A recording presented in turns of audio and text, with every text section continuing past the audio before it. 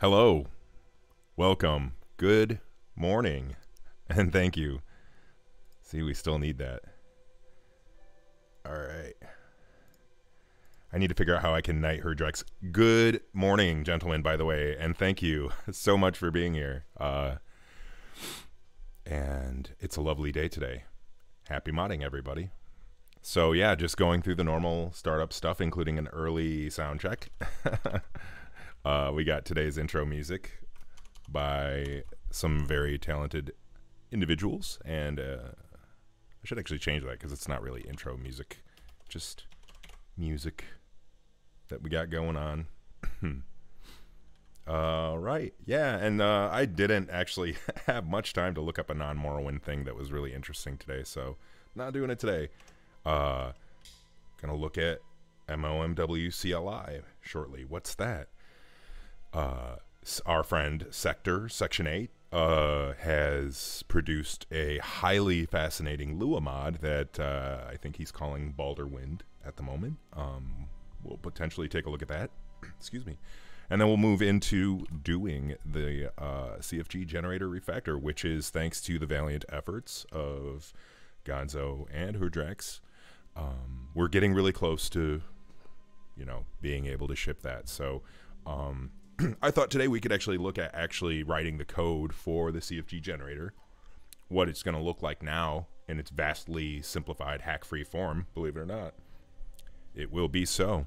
Uh, and then in the second half of the stream, we can move into looking at the mod roundup for the list update, which, excuse me, um, we can look at some recent updates of things that we already added, including some voice acting getting added to a mod that we already added.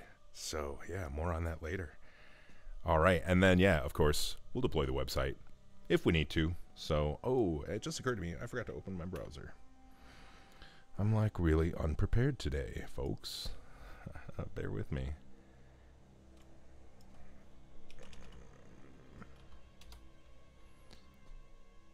Uh, yeah, so the first thing I was talking about that I sort of teased at is uh, MOMW CLI. What's that, Johnny? Well, I'm glad you asked. I'll explain. Watched me on this stream at any point in the past, you might have seen me use a. Well. This thing, basically, this little run.sh thing, and I give it a couple different options to quickly, you know, switch between lists, right? Like I might do, a, oh no, we're going to do a total overhaul now, or, you know, maybe we'll do Starwind or, or whatever. And it's, you know, it's kind of how I jump all over the place quickly. Um, so the MOMW CLI is sort of the formalization of that into something that's actually usable by not me. So uh, we'll look at that momentarily. As I get logged in to my browser here. Oop, GitLab, come on, you're killing me. All right. Hey, Detail Devil. I'm so glad you're here. Doing okay, thank you. How are you? Uh, welcome to the stream today. It's a lovely day. And I was actually just, yeah, uh, speaking about uh, a little project that I started noodling on. Uh, barely wrote any code for it, but it's sort of this idea of uh, the realization of what I use here to launch OpenMW basically in any configuration really quickly, right? Like I can be like a total overhaul or, or uh, you know, let's say uh, uh, I heart vanilla, boom, you know, and launch me in Sadrith Mora, everybody's favorite city, right? Um, and so what I'm planning to do, um, I've spoken with Gonzo and Herdrex about this a little bit, is um, basically provide a way for people to use this um, in conjunction with uh, whoa here we go. In conjunction with what we're going to provide on the website from the cfg generator. And Detail Devil says i'm fine thanks. Just made some coffee enjoying the stream. Yeah all right well cheers. Uh, and i'm glad you're here and i'm glad you're enjoying the stream. So yeah we're gonna just take a quick look at this thing that i got here. Uh, using Go uh, programming language for this thing, but um, even just sort of defining the data structure for the config kind of gives us a high level view about what it's going to do here, right? Um, you can define the content list. So this is sort of like, uh, you know, here where I say I heart vanilla at the bottom, you know, it's sort of like that. Um, we have defaults, right? So if you just run it with nothing, what's it going to do? Where's your Delta plugin? Where's your ground cover? Where's your INI importer, launcher, light fixes, etc. Um, all the things somebody would reasonably need to do when they're setting up a heavily modded setup, you know, um, this thing is going to help them do, hopefully. Nav mesh and so forth. Uh, Perl, which is, you know, even even on my Linux setup, I have to do shenanigans to get Waza's light fixes to work. So yeah, anyway, this is just a preview. This is about all I have here. Um, you know, I haven't really done just set some command. It's going to start out as a command line program, but eventually, uh, I would like to build it into a graphical program. Um, and as I discussed with Gonzo and Herdrex, I'd like to build that with Godot Engine. I think. Um, we'll have a nice little GUI program that can talk with this thing under the hood and uh, give people a nice experience. will this will this modify the settings file automatically? Detail Devil asks. Yes, actually, the thing will be built to by default run OpenMW in portable mode. Actually, I think it's gonna do that all the time. And so what it will do is, on principle, it will take a settings file uh, that you provided, and it will launch that into your portable install. Um, in the future graphical version of this, um, we can have settings uh, selection similar to what OpenMW Launcher does now, with the advantage that we could easily switch to like a text editor like this, right? Like if you're if you're checking the boxes and using a drop down and stuff, like you get. Uh, let's see here.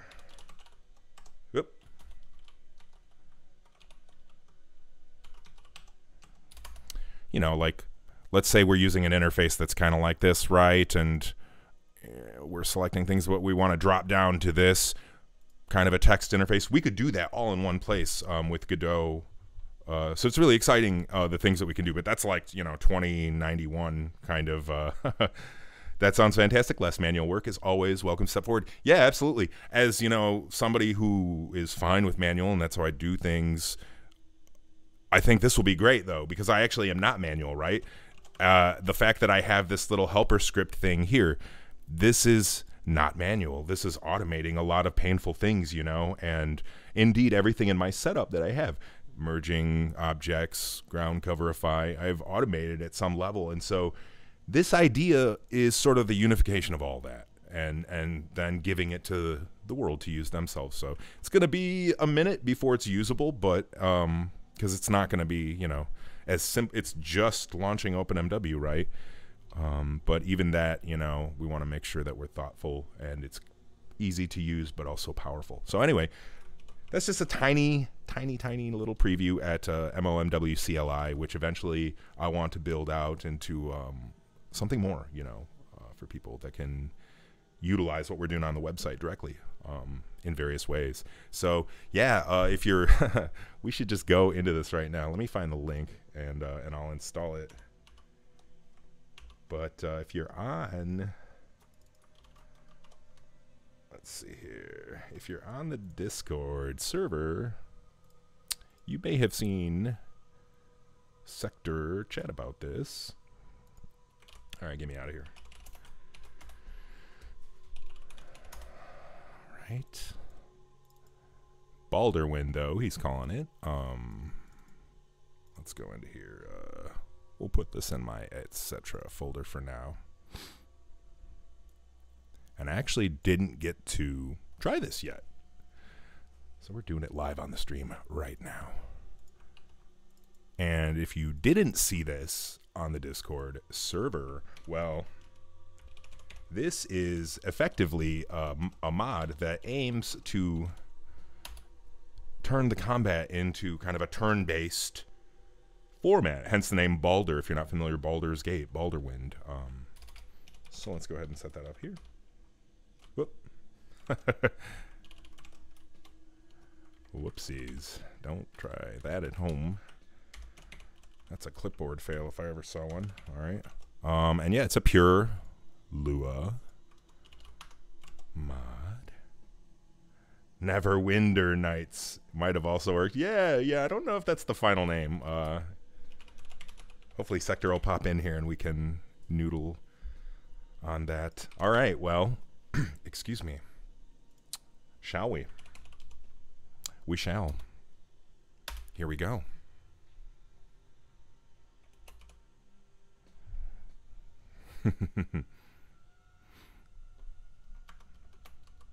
and don't mind the water too. I'm kind of experimenting with ways to squeeze a better frame rate out of my potato while not streaming naturally and uh, disabling basically all reflections was one kind of and refraction was kind of one thing I tried to cheat getting F, uh, frames back. Our friend the vanilla water. Okay, well anyways, let's first see if we got a we got any options here. Okay, no options. Let's get into a fight. Give myself a reasonable speed. I think I'm at like 8,000 speed just for testing purposes. My cheater character. Okay, let's find a fight, shall we? Give myself a weapon. Just Eltonbrand. That'll do. All right. Let's find a crab.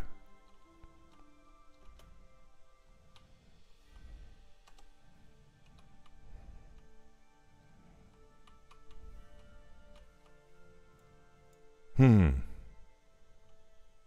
Something happened. All right, what do we got here? Indeed, something happened.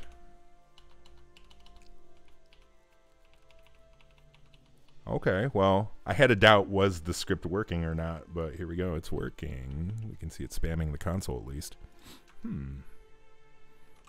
Sector help.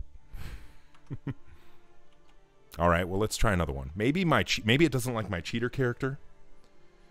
You know? Um Well, let's try another crab. Yeah. It's not your turn. Whoops. All right, let's uh let's make the console visible again. Yeah, you can see something's happened there quite a bit. Checking AI data couple of times a frame, probably. Okay. Huh. Well, we'll have to revisit this once I figure out what to do. Um, you know, I'm going to do one more thing. I'm going to load up 0.48. Excuse me, 0.48. I know he's primarily developing for that, so more folks will be inclined to use it. Hmm. There we go. Um, oh, shoot.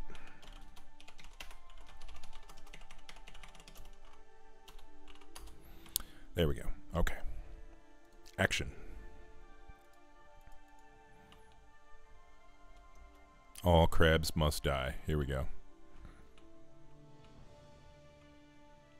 Nuts. Yeah, it's supposed so it's supposed to on an implementation level, it's supposed to like freeze the simulation time of the engine and effectively simulate turns like I go, you go.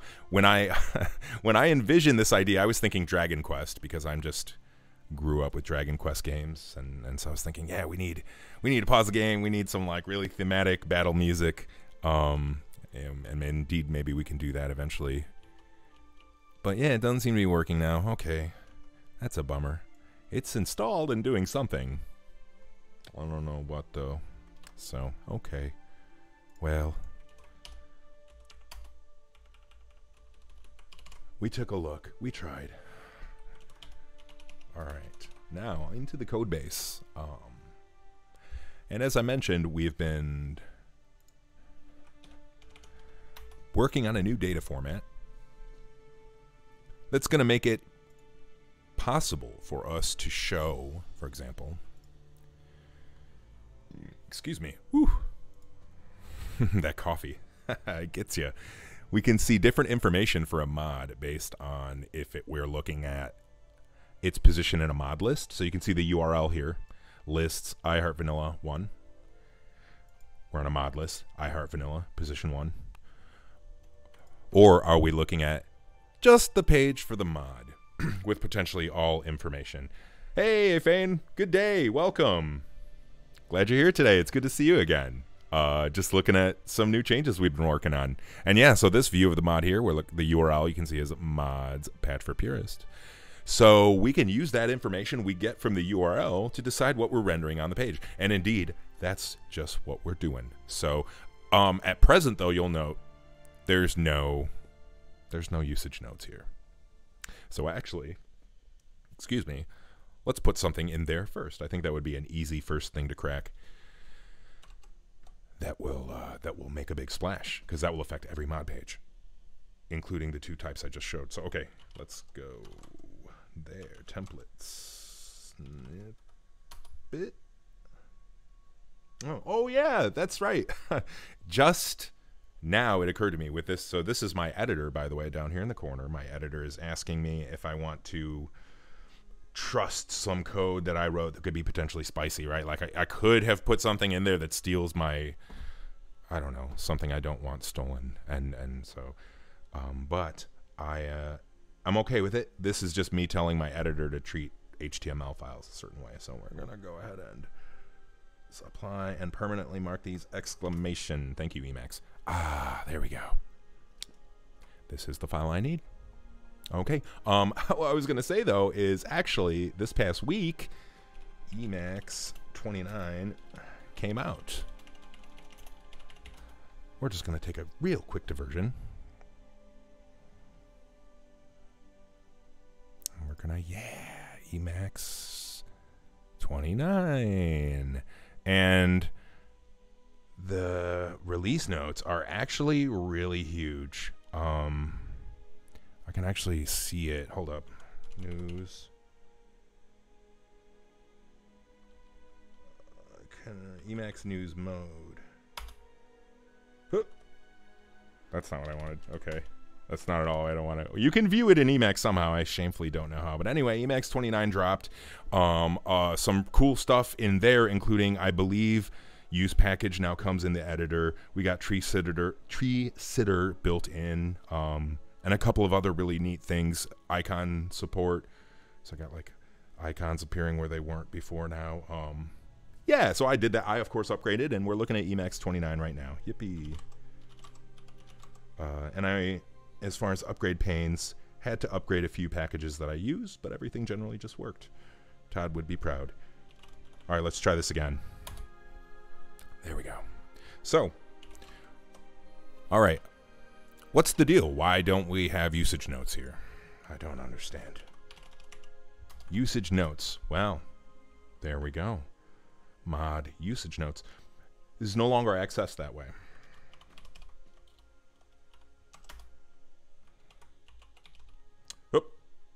Oh, yeah. Okay. Well, so there was one hiccup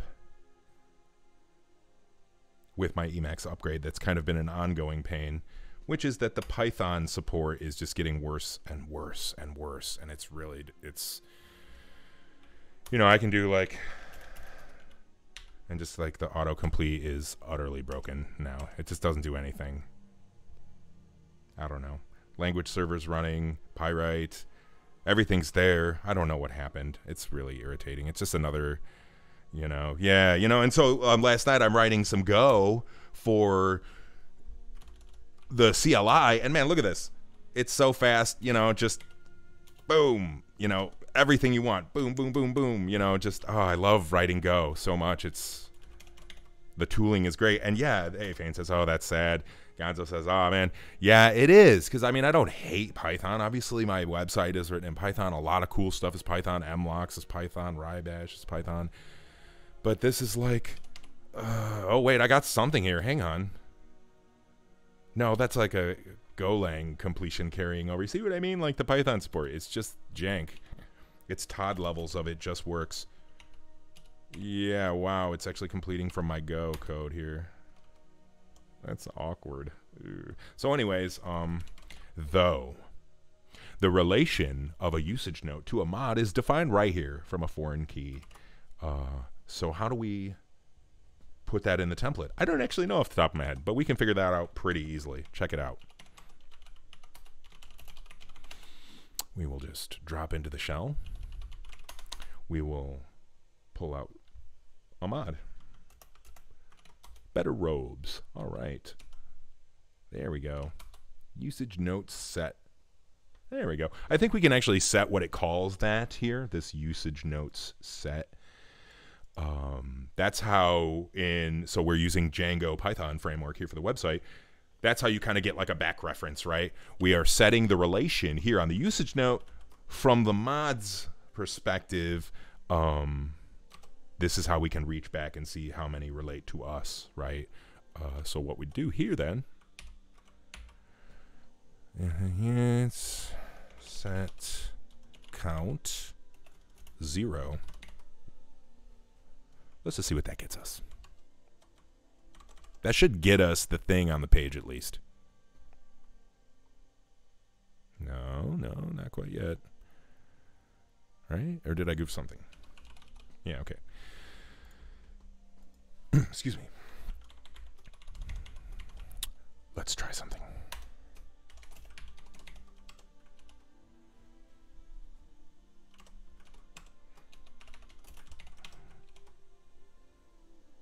okay, there we go.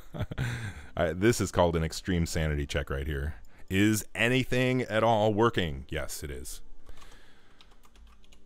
All right. Um, so this is what we got to do. This is getting to be a little too crazy for the template for the HTML, in my opinion. Right? We don't want to do too much of this nonsense.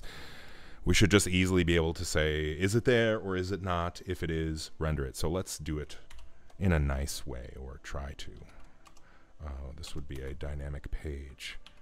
Okay. Whoop. See what I mean? Python geeking out on me again. Here we go. Whenever it's ready, I suppose. Enjoy your coffee.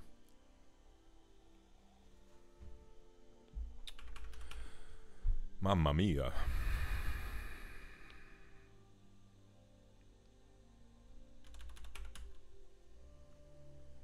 Yeah. This is awkward. I'm gonna give it just a few more seconds, uh, but this is what I'm talking about. I gotta really do something. So probably what I'll do tonight is I will rip out language server from Python and I'll go back to. Yeah. Oh no. Uh, empty coffee cup. Actually, yeah. The mug is actually like in the other room, and Smallio isn't here to like. Hold up. Give me one second.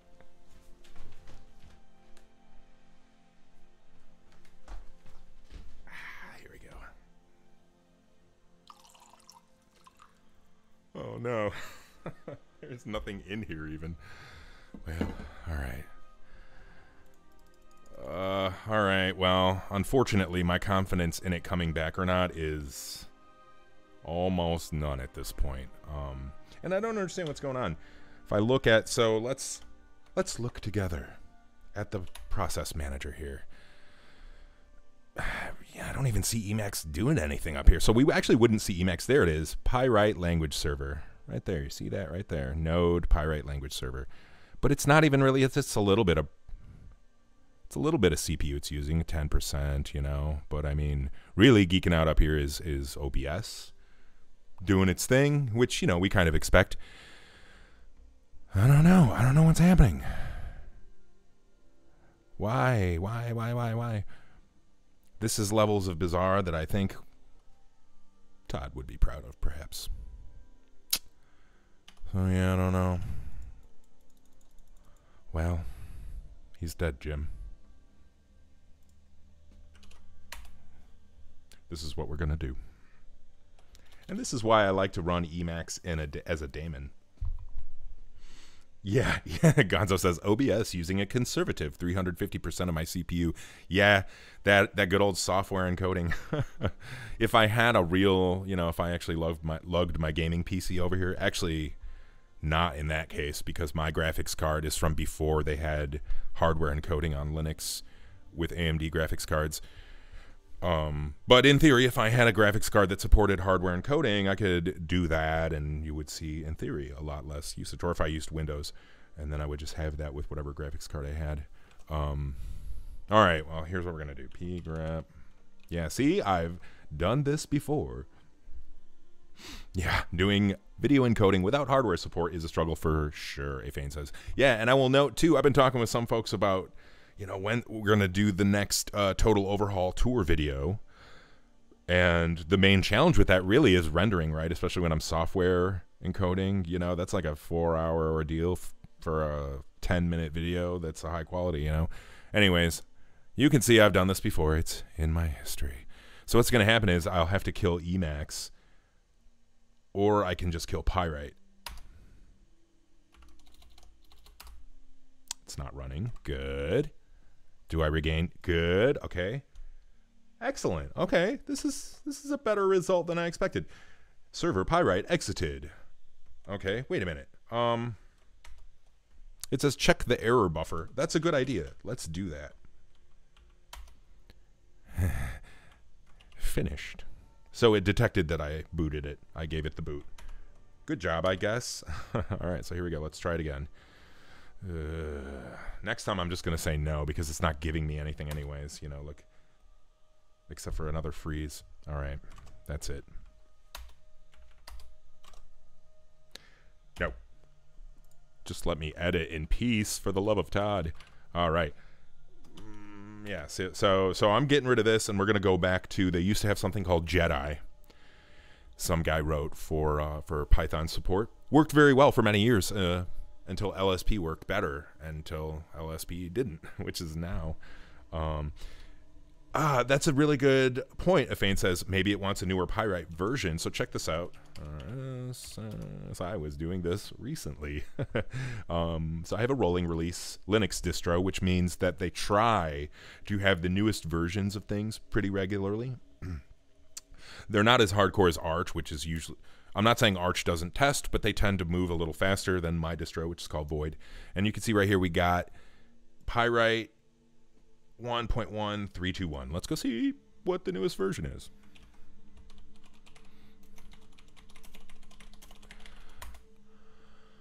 And maybe this trail will lead us down to, you know, maybe Pyright is not to be used anymore. Um, well, it seems like it's pretty current. Okay. 1.1.322. So, yeah, we are one version behind. This was released yesterday.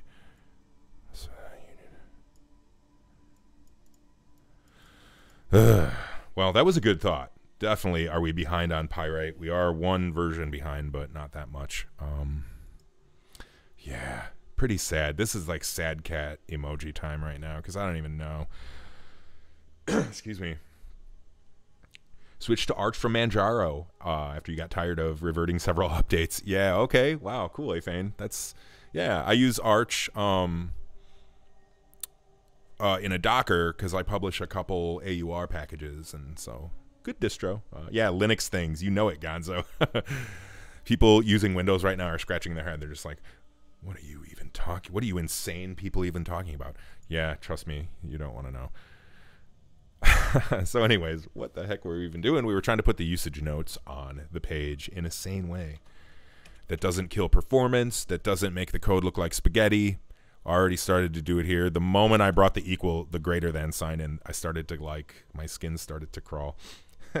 Linux, it just works, except when it doesn't, A Aphain says. Yeah, I, I mean, you know, I've been using Linux for like 15 years, so I know how to not break things pretty well. But every now and then things still break. Case in point. I was so excited to update Emacs and get Tree Sitter, and now I got this. I need a t shirt All right. Mod list detail. That's right. So I have taken a step back. In the website code base, if you're not familiar, we have Python functions that represent what happens on each page.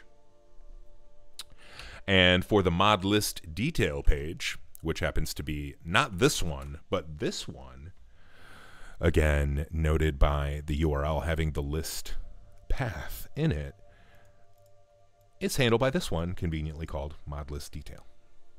Thank you past me for having some sanity. So in here, we can just say it's cheaper to do these things in the backend with Python code than it is in, uh, in the template here, which is a little bit slower. And some things we can avoid hitting the database multiple times. So anytime you do this with a period like this, and especially across a set, you're hitting the database. And hitting the database costs performance. I have a very tiny cheapo server, possibly one of the cheapest cheapest that we can have. And and I don't want to upgrade it you know, if I don't have to. And we serve a lot of traffic as is, and I feel like we can just keep going, you know. Um, so let's try not to beat on the poor database too much, even though I'm doing it constantly now that I look. Um, back to here. So we should send away something called, I don't know, usage notes? Which is going to be empty for right now. Okay. And what we're going to do is we'll just we'll add a new little section down here. Kind of keep things grouped and we'll say um, if mod right? Is this fair? Oh no, I'm in the completely wrong. Huh. Get with it, Johnny. I am in the completely wrong function. This, this, excuse me, if I can read mod list detail it's actually the mod. excuse me, it's the mod list, not the mod in the list detail. excuse me. Wow, I'm about to joke over here.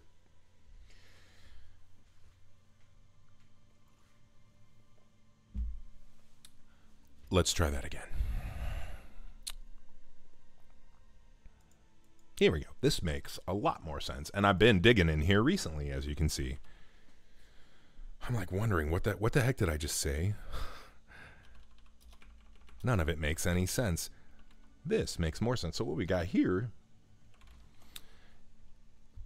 is the new way of finding just the plugins that we need. Um, let's first verify though.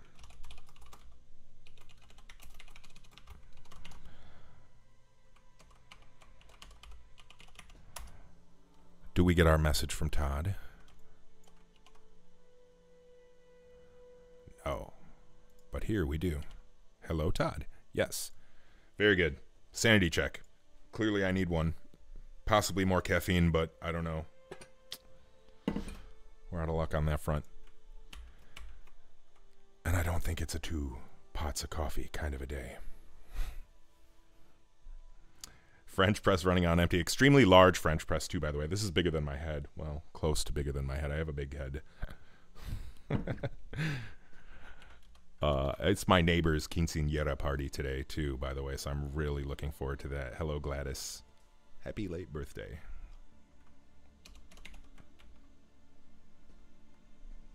So what's the one I actually? Well, we can we can. I tell you what, we can go ahead and get this one here. So usage notes will be mod usage notes set. We're just going to do that. And so what this is going to give us See, I like how I still I still get some sanity checking. I don't need language server. So taking a step back, I'm talking about my editor right now just because I'm a little irritated about the Python stuff not working. I'm still getting a very nice check here. It's telling me that my local variable is not used. Thank you, Emacs. So I don't need language server for everything. That is something called Flycheck. That is, well, it's fly. Flycheck doing its thing, though. Now let's just do that. So we're going to ding the database.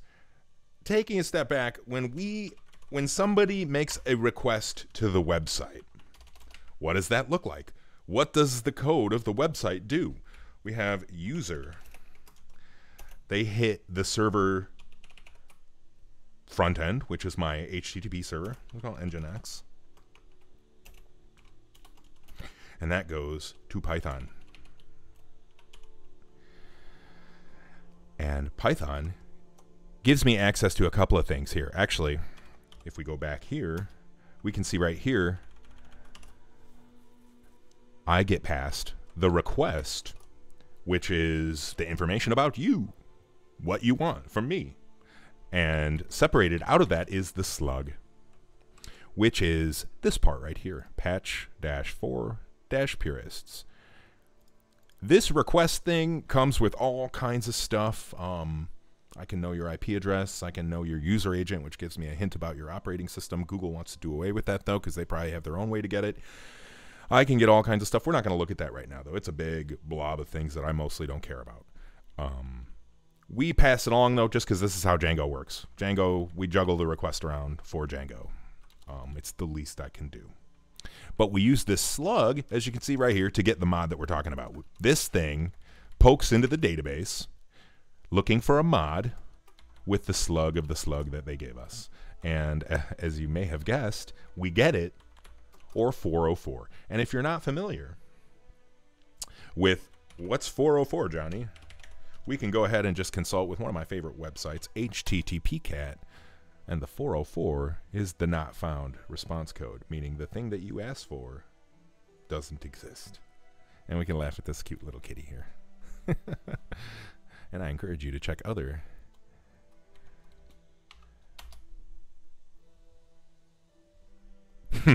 okay, that's enough.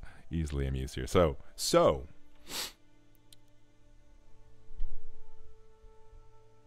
Ooh, ah, Detail Devil, thank you. That is a fantastic question. Uh, Detail Devil says, How many of us OpenMW users are out there? Is our number growing? Do you have insight into that? Ah, yeah, well, let's take a break from Python hacking. That's a really great question, and we can certainly answer that. So if you go to my website, I encourage you to follow along at home.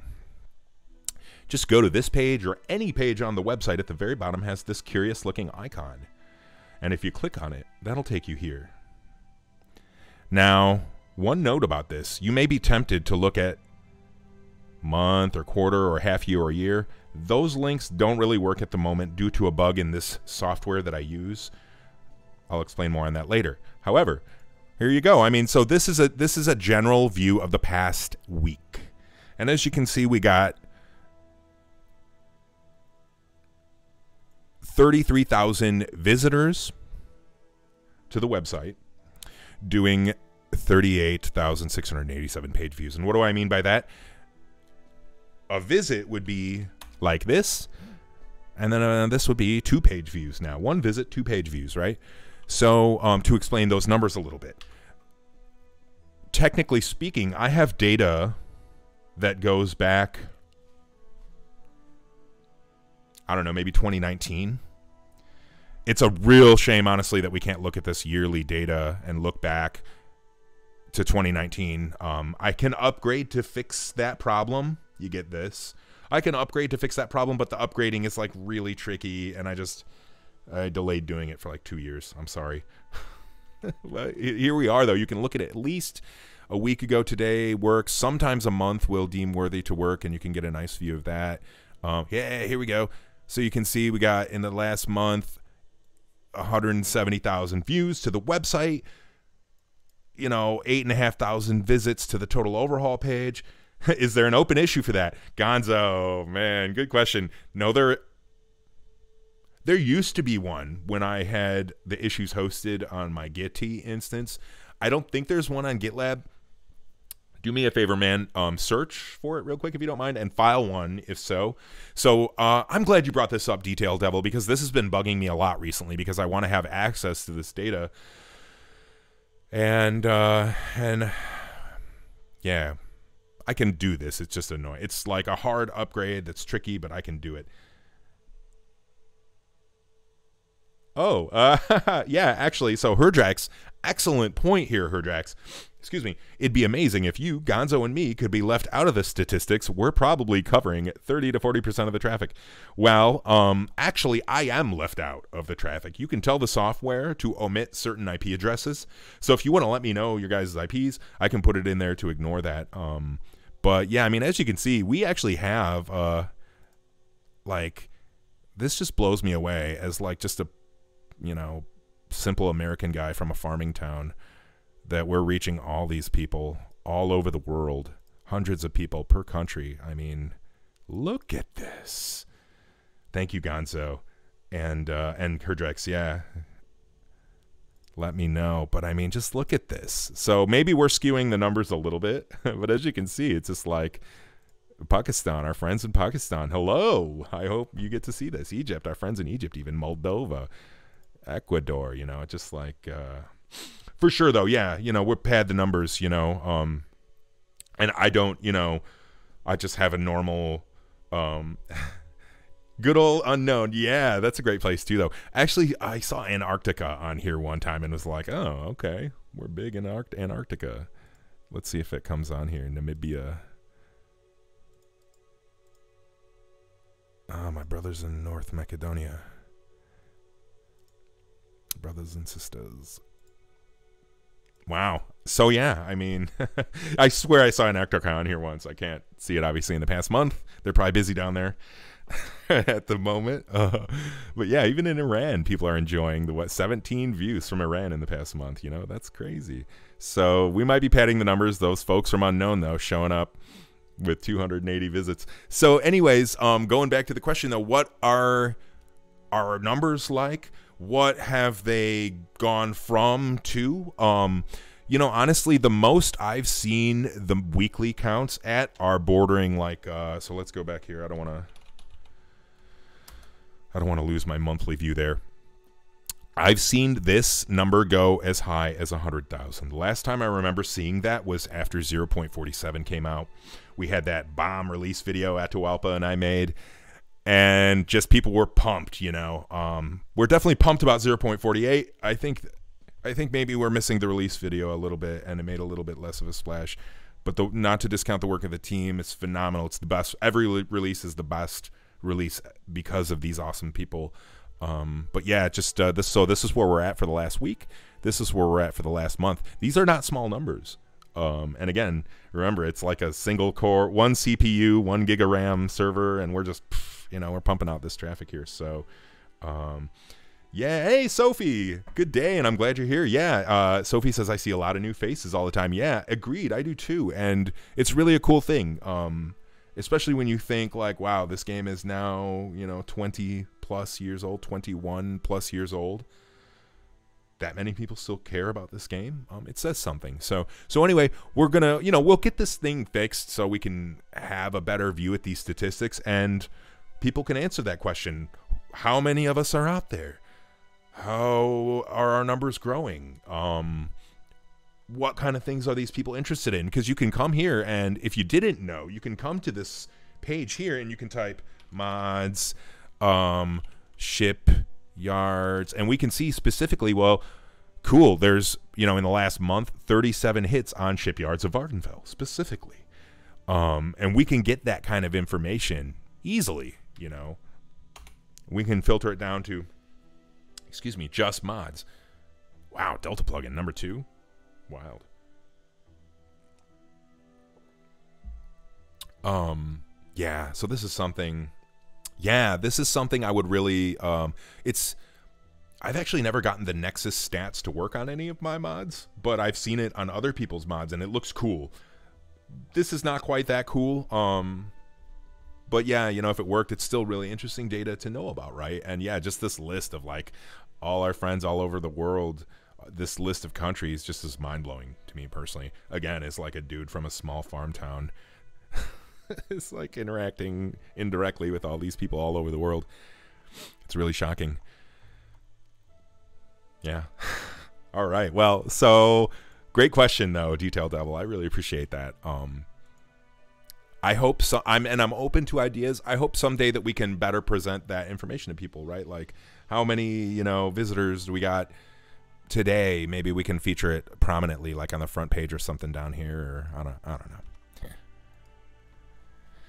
I'm getting crazy now. Okay, so anyways, though, we are now sending this along the pipe. Usage notes. But what does that give us?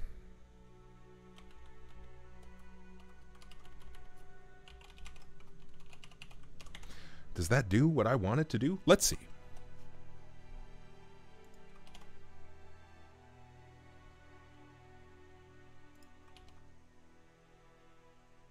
Still no. But I wonder if I'm being blocked by the cache. We'll just keep going. And I'm going to actually cheat. I'm going to cheat a little bit.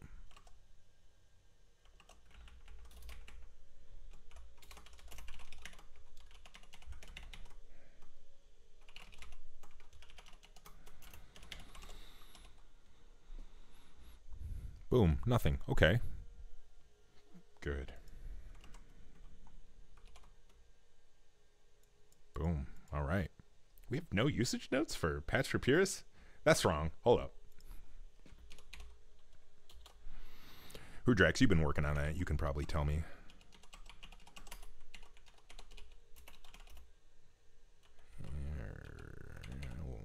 Oh, no. I... Really? We really don't. yeah, what? Wow, that's wild. right, let's let's go snag that.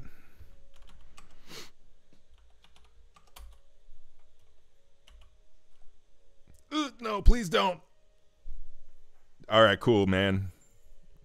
No biggie. I'm getting language servered here again. Oh, me, oh my.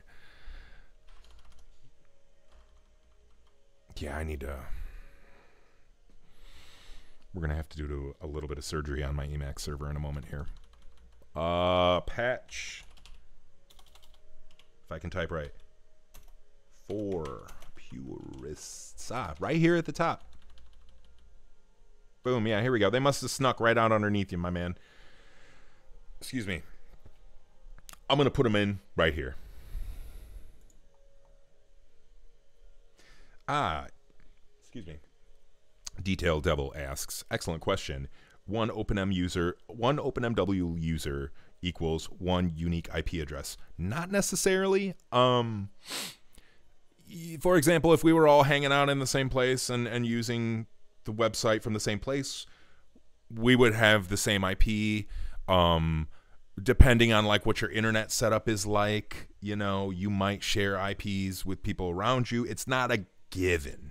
Um, in it's common though that you wouldn't have, for example, even if you have a just a dynamic IP, you wouldn't have the same IP as your neighbor, perhaps. Uh, Sophia, yeah, okay. And if you use a VPN, that would change your IP uh, too. So maybe that's a that's actually a good point. If you used a VPN, that might change your IP on the regular. If it's a good VPN, you know. Um, so you might actually be coming from a different IP, a different country. You'd be coming from unknown today and Antarctica, Antarctica tomorrow. Um, so yeah, IP address not necessarily the best way to single out, you know, one to one. Let's go and pull this out.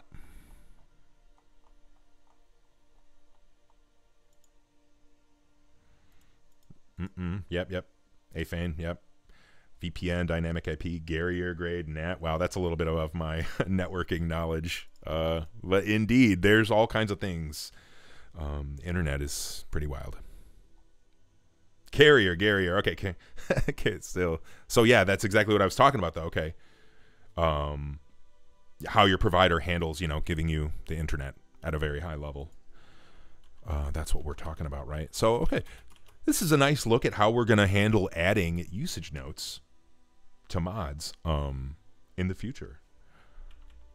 And so we'll simply just, we have a separate data, as I talked about on prior streams, format for them. And we'll gank this out of here.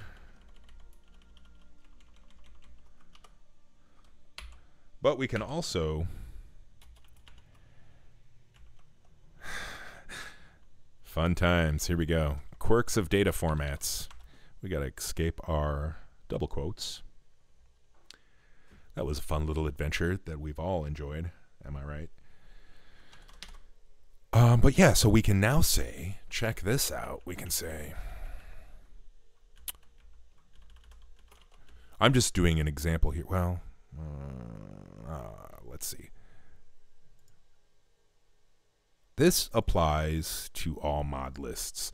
So we're not going to do this, and I don't want to waste time crunching data, unfortunately.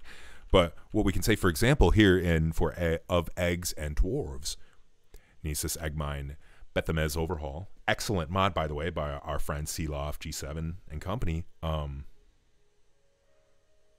yeah, no worries, Herdrex. I got this one. It's actually a decent example to do on the stream, right? Um, but yeah, this excellent mod by our friends uh, in the modding community. If you haven't tried it yet, You got to have it. Um, but here, as you can see, it's in two mod lists, and um, we're saying, you know, some specific information about it. Maybe we'll say something specific to total overhaul, you know, uh, on here, for example. Uh, we can do that now. All right, so on here, this one actually applies to all mod lists. This one too, actually. I would say this applies to all mod lists. Um, we're going to nuke that out of there just as an example. So yeah, now we do my favorite thing, which is delete all the data on the website and re-put it back in there.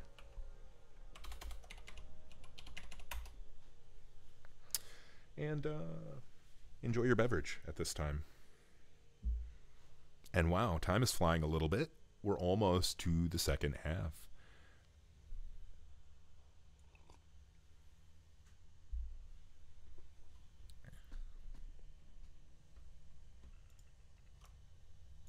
Okay. So when this is done, excuse me, we should get something up here. And actually something down here too. It will say probably usage notes and it'll probably be blank, maybe. Yeah, yeah, good good call out, Herdrex says it's uh, missing the mod lists field. Did you notice that? Yes. So uh, the reason why I omitted that is because the usage notes apply to any setup. And when we list a mod list, that means that that usage note applies specifically to that mod list.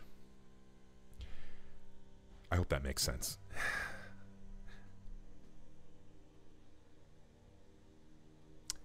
Take another sip.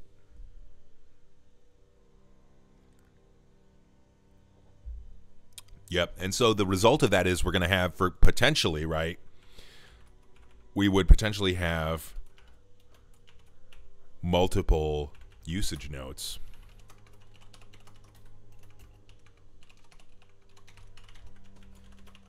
This is wrong syntax, but you know, like this. And so each note would be represented uniquely in the data like that. Um, and that's how we'll do our magic in the Python side of things.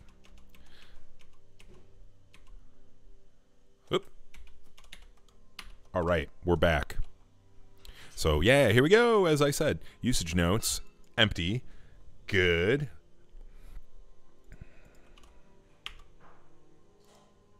All right, we got that. Back to the HTML now. We'll clean up our spam up here. We don't need that sanity check anymore.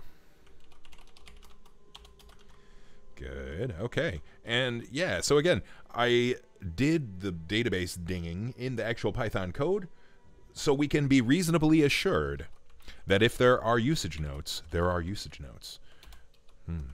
And uh, just a quick note: if you're not familiar with familiar with uh, Django or Jinja 2 templating, what we're doing right here with this pipe safe, you can see us doing it a couple times. We're even doing something crazy down here: pipe length.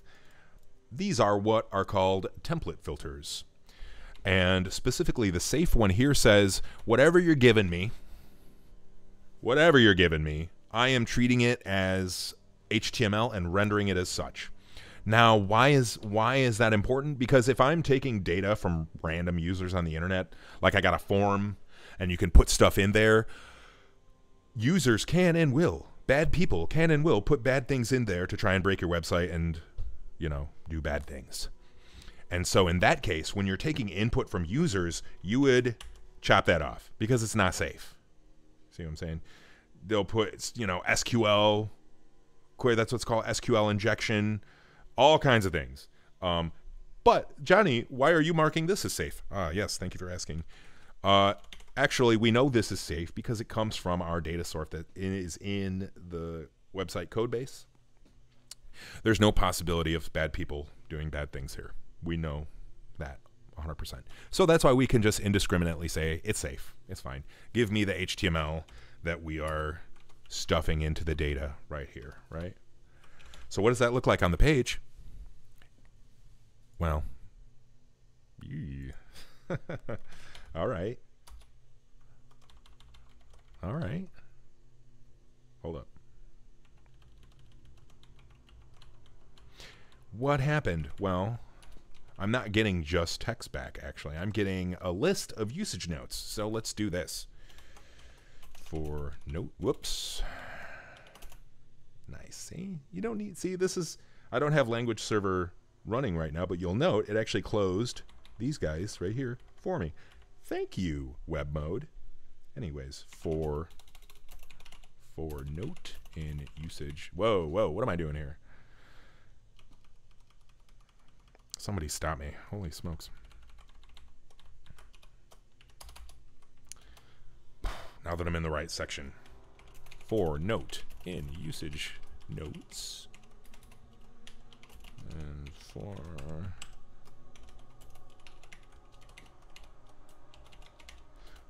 see what it looks like if we make it unsafe. Ooh, excellent. Okay, excellent. What's that? I don't understand. Why am I getting that? So we have not yet actually extracted the text. Turns out we do still have to hit up the database a little bit, but this is in a way that we can cache it, so.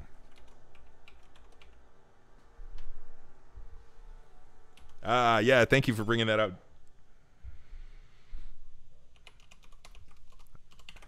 Uh, Detail Devil says, "Have you heard the latest mod news? This is spoiler. Uh, this is a spoiler of something that I teased in the beginning of the stream, but here we go. Herdrex lent us his voice for the Daedric Prince Peryite in Something in the Water. Yeah, I was going to actually go into that at some point, but uh, congratulations, Herdrex. I actually had the privilege of hearing the uh, at least one of the clips before the mod launch, and it was awesome. Uh, so yeah, props and congrats to our friend Herdrex and uh, and also Detail Devil um, and Glitter Gear for all their excellent work on Something in the Water. Uh, definitely finding its way into the 6.x update. And yeah, totally exciting. Uh, we may yet actually look directly at that today. So thank you for bringing that up. Thank you for bringing that up. And yeah, Gonzo says regarding uh, the work here and the editor, man, this is going to be so slick. Yes, you reflect my feelings exactly. So now we are. Aphain says plot twist: Herdrex is actually Peryite. Whoa. All right, so now we're properly extracting the text from the database with this code right here. Note the period. And we're hitting the text field in the database. What does that give us? Usage notes. Yay, look, here it is. And you'll note, because we have not yet told the template that it is safe, we're getting HTML. So let's go ahead and tell it it's safe Shazam. And there we go. Just like that. And so I think this is actually worth an example. Um, these usage notes apply to every mod list. Excuse me. But let's pretend they don't. Let's pretend that these notes only apply to these two mod lists.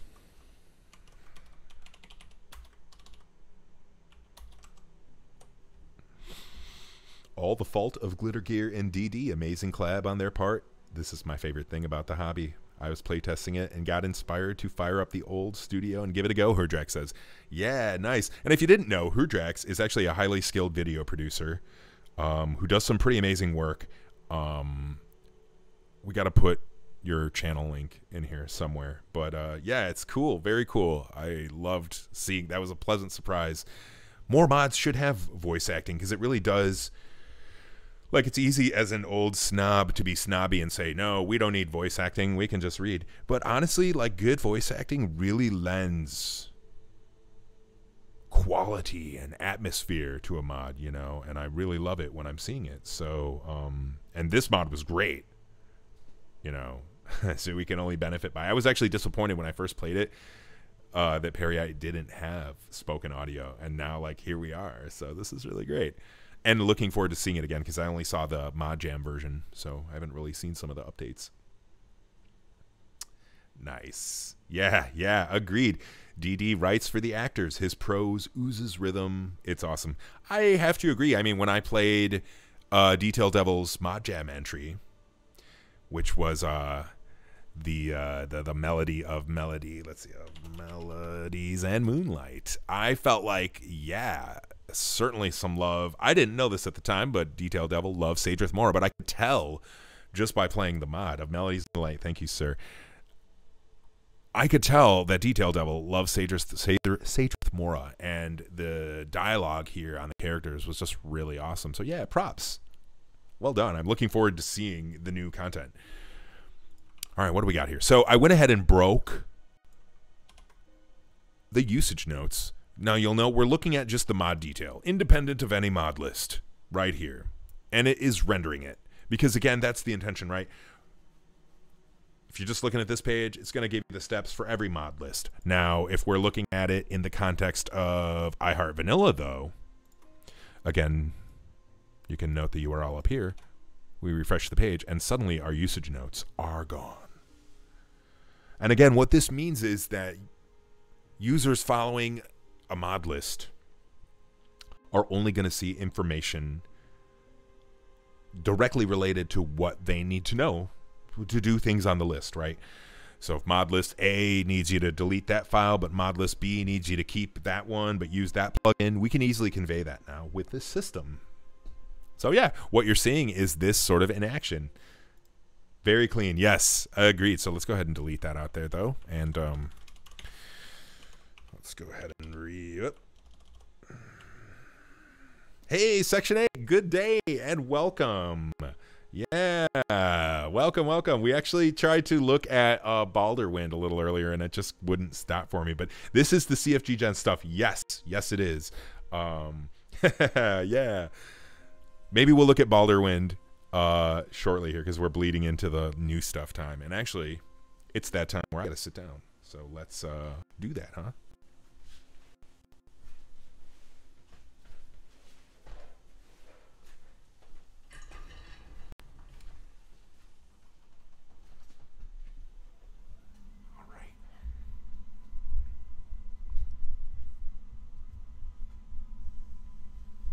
Okay, cool. Yeah, I kind of figured that my version was a little uh a little outdated. I just took the zip that you put on the Discord channel um a couple of days ago. So I'll just get it from the repo.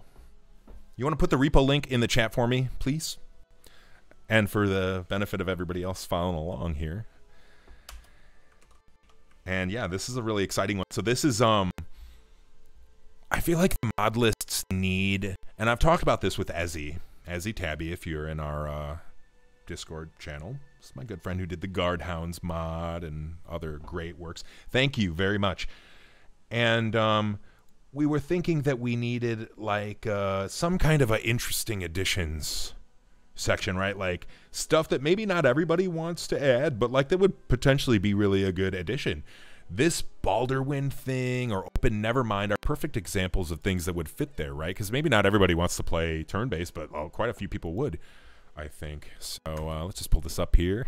right. Cool, cool. Let's grab it. Okay. Games, OpenMW, mods. Uh, I'm just going to call this a combat mod for now, but I don't know. How would you categorize this? Ooh, Section 8 started streaming yesterday. Very cool. Lucky to catch the debut. It was supposed to be about gaming and coding, but for some reason became geopolitics and work ethics. Oof, all right, well. Maybe when I join the crowd next time, because I was working. I saw you streaming yesterday, but I was doing the old day job thing. Uh, when I join, we'll have it be the Emacs episode. Not your first one. Okay, doing it for a few weeks. Cool. Plug your channel.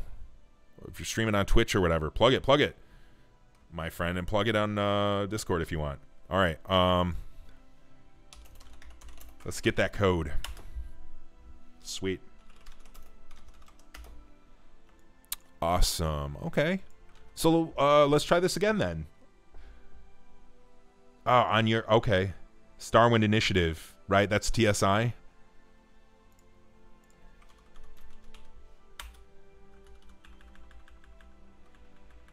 Yep, awesome, cool, okay. You Starwind kids, Starwind multiplayer. All right, well, before we get into the 6.x goodness, let's take a look at this uh, turn-based combat, shall we? This is exciting. and I was saying before you joined earlier, I was saying we need when I first envisioned this mod, I had Dragon Quest in mind, you know, and I was thinking we needed like some uppity combat music. You know how the Dragon Quest games have like a epic combat music. You need something like that. Uh, oh yeah, actually, and I mentioned this. Uh, it's another thing I forgot. See, I was totally not prepared we'll look at it in a minute. I'm going to pull the URL up. Um, but actually, a good friend of mine happens to be a musical composer. And it's the same friend uh, who is, uh, I don't have the URL handy. Uh, he is, though, he and I have for years been planning a totally original RPG that will be made with OpenMW he has done 90% of the work. I'm like moral support really. but he, he like includes me as part of the process and I'm lucky. Um but yeah, we are gonna want to cover that too as like a non, yeah, as a non Morrowind project. All right, here we go. Are we ready? Let's get, uh, let's just throw Eltonbrand back on there. Yeah, here we go. All right.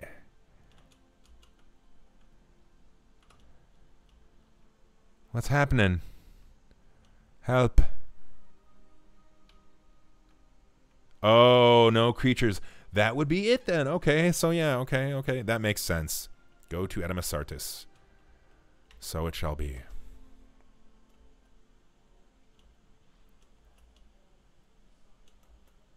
No big deal. Just got like 4,000 acrobatics.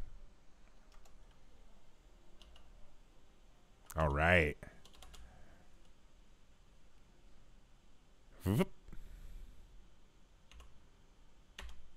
Oh, did I do a, a bad thing by going into this with no weapon drawn? oh no. I'm stuck.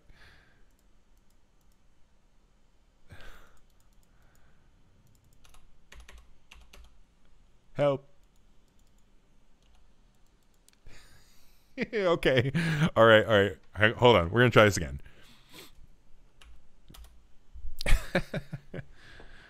cool.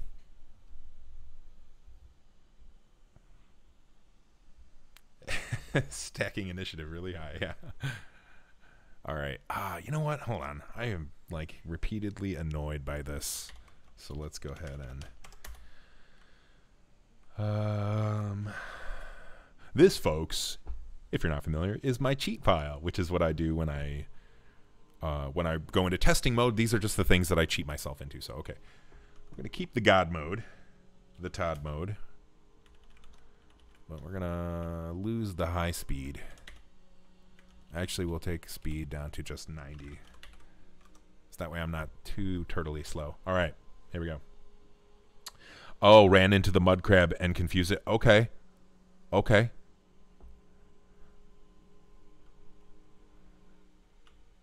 Let's get on it. And I just, uh, oh, wait. Okay, so we're on 0.48 right now. No ripple. I was going to marvel at the ripple, and it's not there.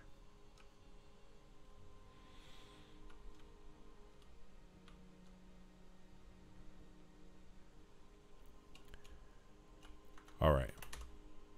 Big mode. Here we go. I need to actually get... Yeah, there we go. All right.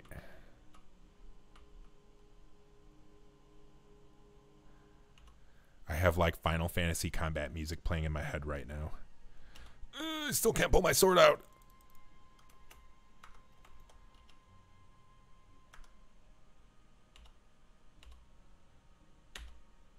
Hmm. All right, I'm gonna go in there with the sword out. Take three. My turn's stuck. It's all so it's a it's a alpha. It's a beta. You know. We'll go in there with the sword out this time. I'm sorry I broke it. I think it's so cool though that this is a thing. After thinking about it, it's a thing. All right. Now I'm ready for battle.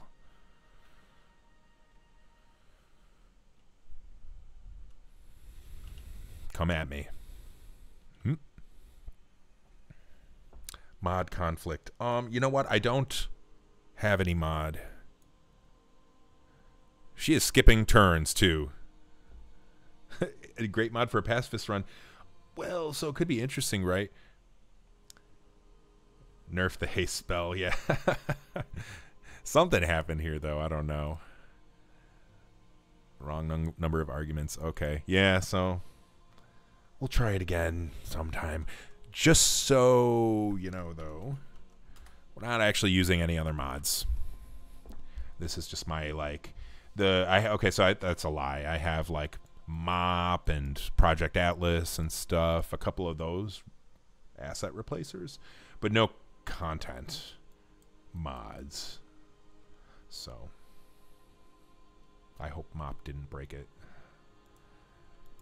Ah, but so yeah. In any case, still very cool. Thank you for working on this S3ctor. It's looking, you know, the video that you showed, it looked awesome.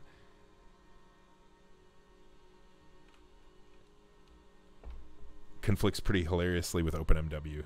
Oh, Open Nevermind. Yeah, okay. I didn't test that, but I'm also not loading that up. But I guess I kind of would expect that. Okay, well, let's go back to the plan list here. Kind of. So we had a very interesting look at that. We kind of restored uh, usage notes. Kind of, we did do that. Um, and so next up, what I would like to do um, before we jump into the kind of the the update extravaganza is what I have here. You can see, as I mentioned, all the URLs are powered by a Python function under the hood, and this is the good old CFG generator. And so, if I don't end up, I'm not. I'm going to be pretty busy tonight. I don't know if I might got that quinceanera party I'm looking forward to if I don't have time tonight, maybe tomorrow in the stream, we can take a stab at doing this. Because um, you may remember from prior streams this horrible section of code that did terrible things, hacky things. Uh, make a fresh video later. Cool. Thank you so much, Section 8. I really appreciate it. But this code used to be terrible, but now it will be very boring. Simple code that will be testable, most importantly, and usable for some grand designs that I talked about earlier with the uh, the launcher that we want to build. So, anyways, without getting too crazy, soon we will do it. So, uh oh, no, please, oh no, uh, my language server. Cheers. Section 8, you use Emacs. You got Spacemacs going on. Do you know what it's doing for Python in your setup? Are you doing language server, Pyright, PyLance, I think is another one? Does it work for you? oh my gosh. What's happening? All right. We're doing this again.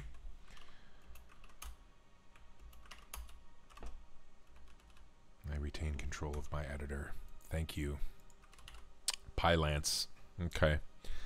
Yeah, right. That's what I was saying earlier. I'm just going to go back to he says, I've got Pylance on mine. Python mode is probably the best supported one I've tried. Yeah, I'm just going to go back to Python, regular Python mode probably because language server is struggling right now.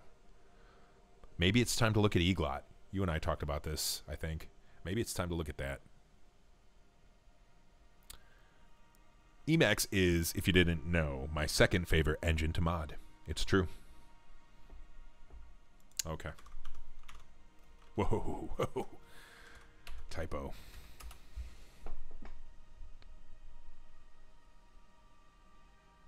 Ooh. PyLSP and ruff, but I'm not picky, Aphain says. Oh, okay. Interesting. PyLSP. Thank you for the tip. I might try into that. Let's see real quick here.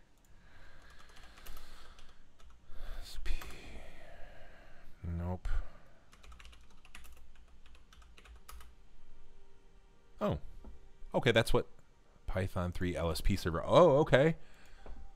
Uh, uh, Sophie says Zach's Lua bounty cancel, kill all witnesses is pretty hype. Yeah, I think Herdrex told me about that one. Uh, frankly, all the stuff Zach does is pretty awesome. Lots of great wizardry for sure. Um, okay, so wait. Uh, I don't have it installed. Bear with me here, all right? Let's see.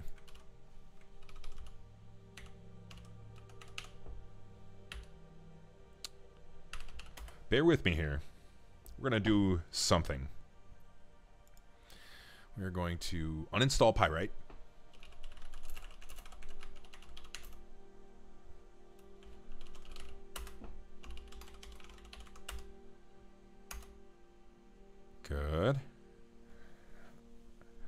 Ooh, all right. See, this is what we call, if you're not familiar, in programming, there is a concept dear to my heart called rubber duck debugging.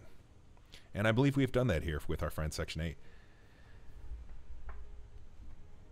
Ah, okay. Uh, Detail Devil says, I like that script a lot. Hope he'll put it on the Nexus. Yeah, okay. So it seems y'all are a, a bit ahead of me with the Zach stuff. That's great. We might have to do a Zach stream tomorrow and just look at ZachUtils. I'm like so behind. Anyways, I, am over here trying to fix my editor, and you guys are playing with Zach's stuff already. Get with the program. I gotta get with the program. All right. Maybe there is hope for me yet. I run Emacs as a daemon, as I mentioned earlier, which means that I start it as like a background thing and then I connect to it. Also means that if I close it, I'm not really closing it. It's still open in the background. Actually, a really handy thing to happen.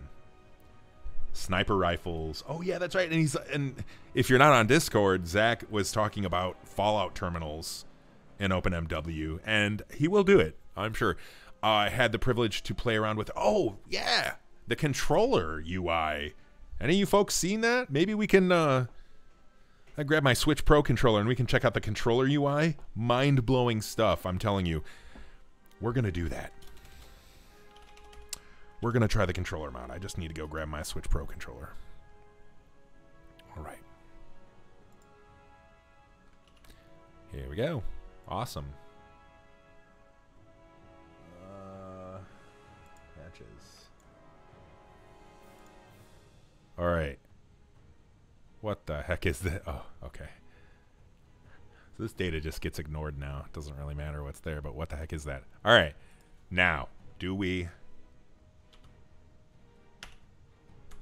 Nothing. Still broke. But it's still using Pyright. I think that's a clue about why it's broken. Maybe it wasn't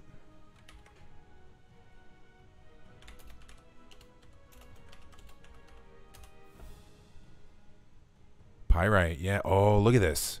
It's fallen back to this one. All right. You know what we got to do now. Bear with me, folks. We're going to fix this yet. Oh, no. I did a bad thing, though. This is no good. What's happening? I did a bad thing. Just make it stop. Yeah. So it yeah. So uh, language server for Emacs has a nice feature whereby it can automatically um, automatically download servers for you, and I had done that in the past. Let's uh, let's just delete that. Kill it with fire, as they say. Okay.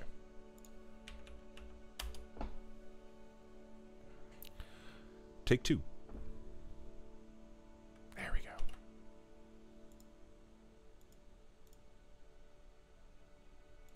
Yeah, see? That was instant.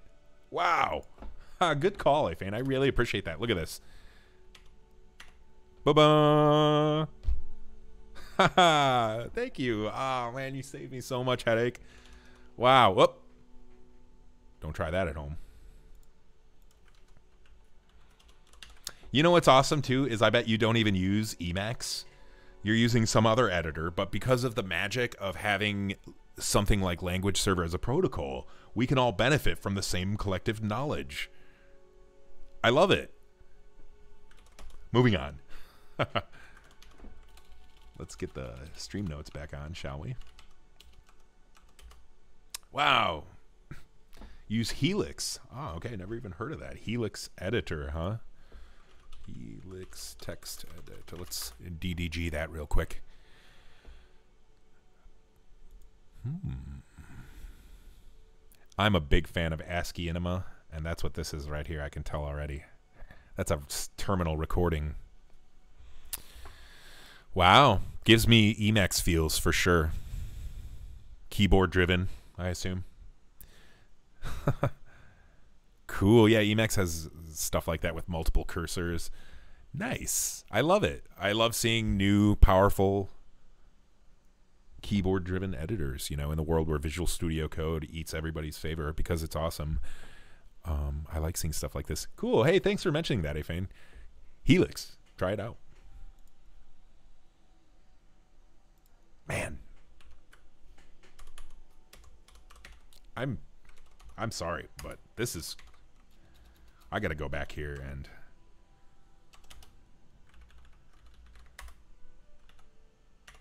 ah fantastic. Look at that. Just what I needed. This will make my life quite a bit easier.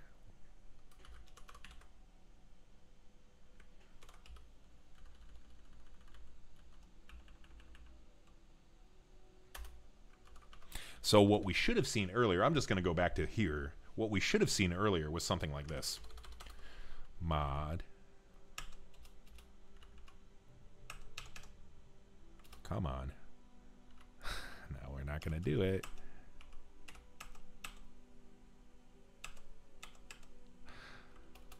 Wow. It's broken in this file.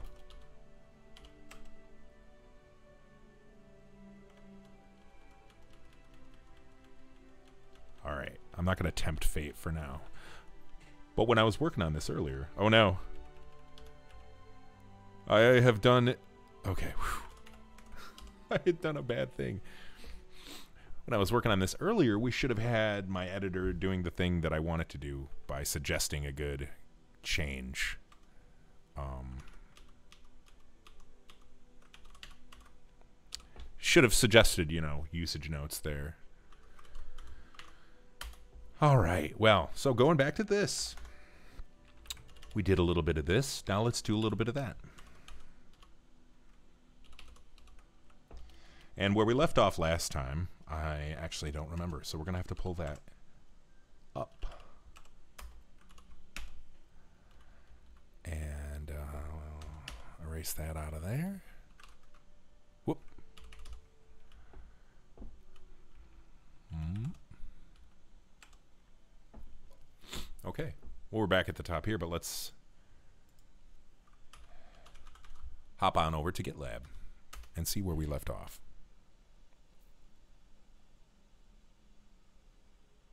Am I blind? Yeah, I am.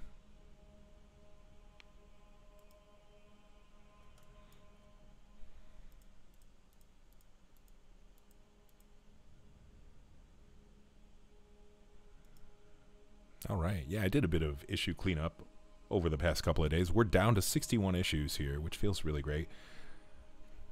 Before I did that cleanup, we were in sort of the 90s, the high 90s, but there was just some stuff that was either already fixed.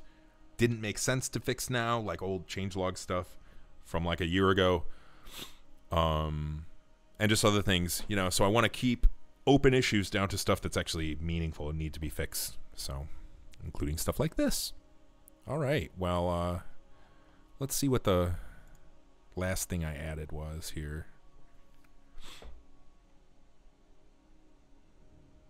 Nice. This is a pretty handy feature. See, GitLab as kind of annoying as the UI is most of the time, there's some nuggets of cool stuff in here. And we can see the last time I edited this, we added some good stuff of Melodies and Moonlight by our friend Detail Devil, OAAB Market, recommended to me by Detail Devil. Thank you for that. Um, Hanging Gardens of Suran, another really great one from the Mod Jam. Herdrex. Do you remember working on this? I think we need to make an issue for this so we don't forget to do it. But as I recall, Herdrex solved this one by editing uh, this script a simple rotation broke the whole thing. Heron, Heron Ancestral Tomb, um, another excellent mod jam entry. That one's done. Cool. Thank you. We're going to want to ship that somehow, be it in the total overhaul patches or something else. If you want to have your own, you know, patch collection, by all means, we want to get that out there, though. Oh, yeah. Speaking of get that out there, though, this one just. Mamaea Awakening is looking smooth. Herdrex says, I agree. I just love that one. I love the um, thoughtful takes on the dungeons that we're privileged to have now, you know, including that one, including Harran Ancestral Tomb. This one, if you haven't seen it yet, has a climax that's just. What can I say? It's great. Oh, okay. Yeah, I did actually hear about that. Thank you. Detail Devil says Sealoff is working on overhauling Harran Ancestral Tomb at the moment. I mean, if I'm going to be honest, I can't even imagine that because the thing was so awesome to begin with. So, wow, I'm a little hyped. That's great. Maybe by the time we launch the changes to the mod list, it'll be ready and we can take another look at it. Um, and I'm sure, you know, I'm sure it's going to be amazing. It will be a separate tomb, even. Ooh, okay, wild. Yeah, Gonzo says wild, reflecting my thoughts exactly. Um, man, I just reached for my coffee mug. All right. Um, yeah, so Harran Ancestral Tomb. Uh, there are some things that I added, though. Let's just quickly do a scan here. Oh, yeah, we got our fishing spear fix by Sophie. Thank you so much for that. There's also the TR robe fix that you graciously shared with us. Um, I have a note to make an issue for that. We're going to add that, but you can find that somewhere up here in my setup. but yeah, props, Sophie, and thank you so much for that. We'll want to get those out there. What else do I got, though? There was something. Patched the dead guys. Okay, nice. Should I git pull? Uh, Section 8. Maybe we'll be doing another combat. Look, all right, but first we'll do this. I don't want to go too all over the place. All right, I'm going to do a git pull real quick. Uh, and then we'll come back to it. All right. We'll come back to it. Ah, Dwemer lightning rods. This is one, though, that we have to. Unfortunately, we still have the awkward bug of no LOD on Lua created stuff, but eventually we'll want to reach out to MD and offer this. Uh, we did look a little bit at uh, Better Bodies, Westly's Master Head Pack. Good, good stuff there. Really good stuff. Okay, this is not new. I know there was something new that I added, and this is not for naught.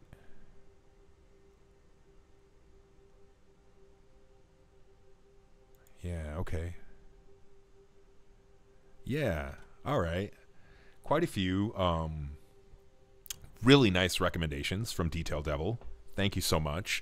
Um, to start, Telvanni Sea Beacons.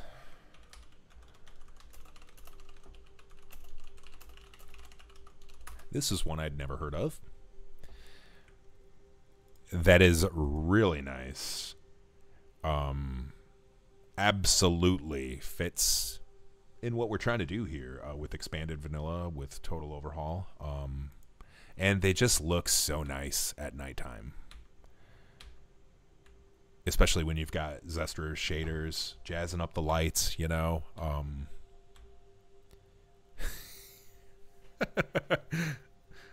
all right. Indeed. So yeah. Going in there Telvanni Sea Beacons. Now let me ask you, because I put this one under landscape. I put this one under landscape. Is that the right category? Please let me know. I think, you know, land when I think landscape category, I'm thinking like dotting the landscape with lights, which is literally what this one is doing, right? Like putting some stuff on the ground, stones. These are beautiful, Section 8 says. Yes, they are. Detail Devil, thank you. Yes, I think that fits. Thank you. I really appreciate that. So let's go ahead and put it up with the landscape category. I really appreciate that feedback. Naming is a known, very hard problem, and I like not being the only person thinking about this. Okay, landscape.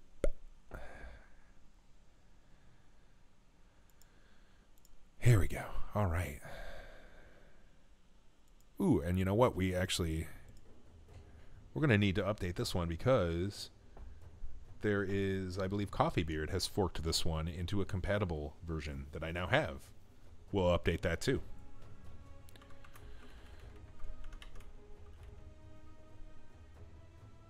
Let's get that here. And thank you to both Glitter Gear and Coffee Beard for that. Um, yeah, here's this one. We're going to add this one. Since we're using a couple of other mods that change that area, our friend Coffee Beard here has gone ahead and, and taken the trouble to make it fit with BCOM and other things that we got in the mix here. So yeah, this is what I got. This is what we'll be using. Um, and so major props to both of them for doing this, for creating the mod and for patching it for everybody. All right.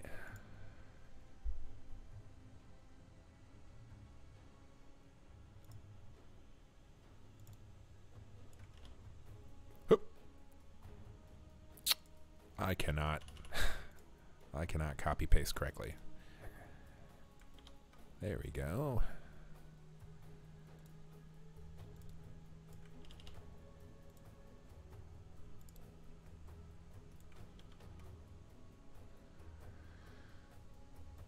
Mm, yeah, Gonzo says super nice supplement to BCOM for Balmora, and Sophie says we should just use a texture from Met or IT if we're not already instead of the Blood Moon Hide Replacer with SHOTN, still in development, probably not worth patching.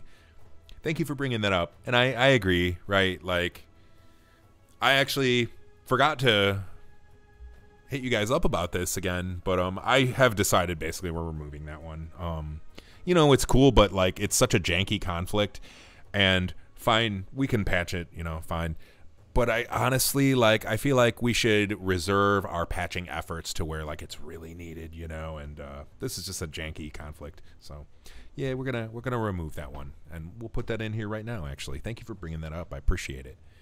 Let's go ahead and hide replacer.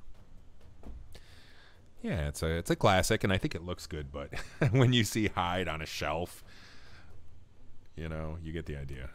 It's no good.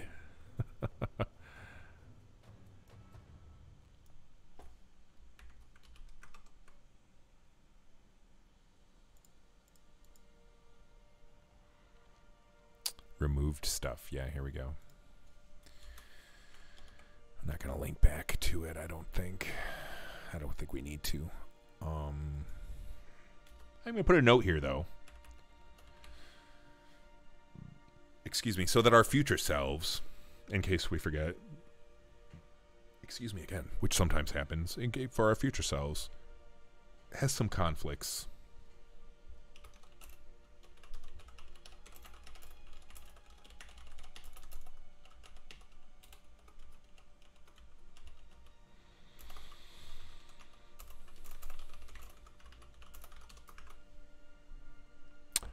Very good. And we're going to go back up here to our, our uh, landscape section. Actually, I'm just going to remove that completely. Ooh, ooh, ooh. Tell you what. We're not trying that at home. We're just going to copy paste. Good, good. Yeah, so thank you again, Detail Devil, for this and a couple other ones. Emacs and Morrowind. Hello, Microwave Prince. Welcome to the stream. And I hope you're having a lovely day. We are as well. Happy modding. And yeah, that's true. Emacs, the weird, bizarre intersection of Emacs and Morrowind is right here. Thank you.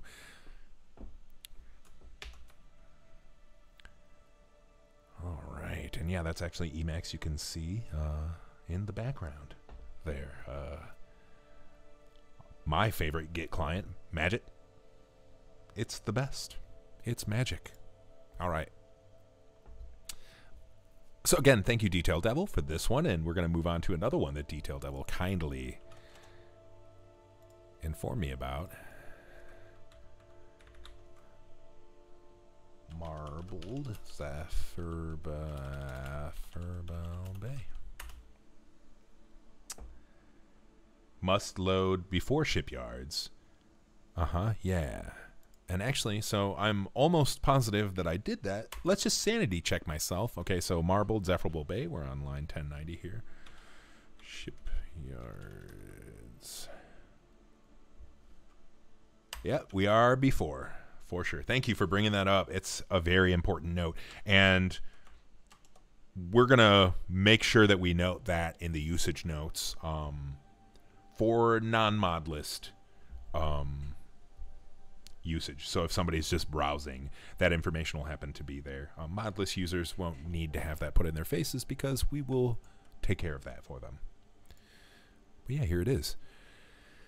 And it just adds, you know, um, I forget how you pronounce these things. The menhir, these tall stones. I don't know how to say it. I'm sorry. These things, though, puts them throughout the region, and it, you know, it's a nice uplifting of the scenery, which is a little kind of samey uh, in the region, you know. So yeah, I loved it. This with the Telvanni sea beacons uh, was just a real nice. And there's also some uh, interesting terrain changes. I noted some stuff that I thought was new. Yeah, right here. That's really nice. Um, menhir. Thank you, Gonzo. I appreciate it. I wasn't quite sure. it's not a word I use every day.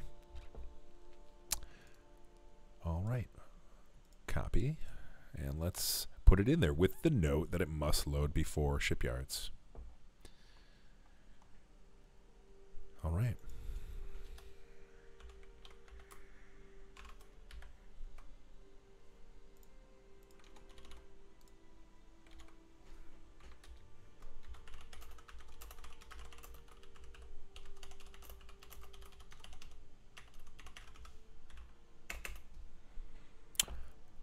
There we go.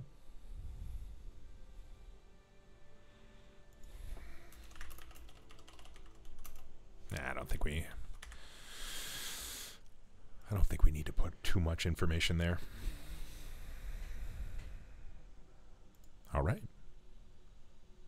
Great. Okay, let's go back to Magit. And oh yeah.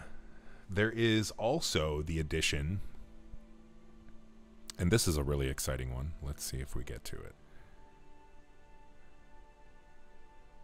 Yeah, okay. This isn't what I was thinking about, but uh uh, Detail Devil says, Ever since Shipyards, I learned my lesson of never touching the landscape editor. Yeah. It's tricky, right? It can be very tempting to paint the landscape. Um, but that's like a, just a compatibility nightmare, really. And it's one of the hardest compatibility problems to solve. We have the merged lands tool, which actually Gonzo has played with and managed to solve some spicy terrain conflicts with. We have tools to solve it, but right now, I like to avoid those conflicts until we can get an easy way to use that stuff in the hands of the users. So yeah, as a designer, I can appreciate the want to really jazz up the train and also the want to be compatible compatible with things. So this is one um this is one of those like how was I missing this ever mods. Uh, we're going to take a small journey down to Potato Land, but it's going to be worth it. I'm going to run Total Overhaul, and you're going to see these beautiful, better Telvanni crystal 4K textures uh, with normal maps and an OAAB data patch. This stuff was just incredible. Join me. Come.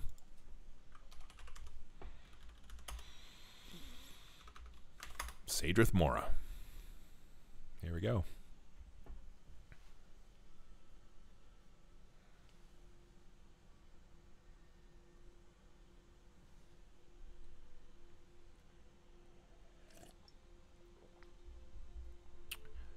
Yeah, Gonzo. That's uh, Gonzo has a interesting question here and a great one. Thank you for asking it. What did you think about just providing a modless specific merged lands plugin? I guess that's a pretty major burden as far as maintaining that. Well, maintaining it maybe not is is not a huge burden per uh, per se. The problem, though, in my opinion, is uh, hey Santa, welcome, my man. Hope you're having a great day. Um, the problem with that though lies in like if somebody adds one thing that makes a terrain edit that's not factored in by that, it just borks everything, you know. Um, it would produce weird results, right? And I think quite a few people actually take our mod lists and like build on top of them, you know, which is great. Um, but yeah, yeah. So much as I would like to to do something like that, I think functionally is a handy thing to do for users. Um, this is where the ML, MOMW launcher that I showed, I teased earlier, will come in handy though, right? If we can have an easy way to run the merge lands tool or anything else. Um, and Detail Devil correctly says landscape conflicts can usually be solved with a specific load order. That's absolutely right. Negating the need for such a thing, right? Um, indeed, I wonder if we could solve, for example, the Tribe Unmourned problem with some load order tweaking. Didn't really look into that too much. Um, oh, right. That's right. I am not. Just let me move. Thank you, Todd. All right. So.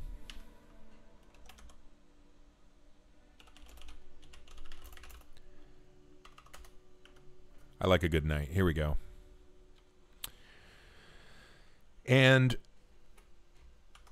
despite the potato quality, which you can appreciate with my FPS counter up there, you'll note the beautiful lights, including the lit council hall, which is a recent-ish glow-in-the-dark update that is absolutely phenomenal. Just look at it. But where are we going, Johnny? We're going to look at some crystals. It's the crystal rubbing section of the stream. Here we go.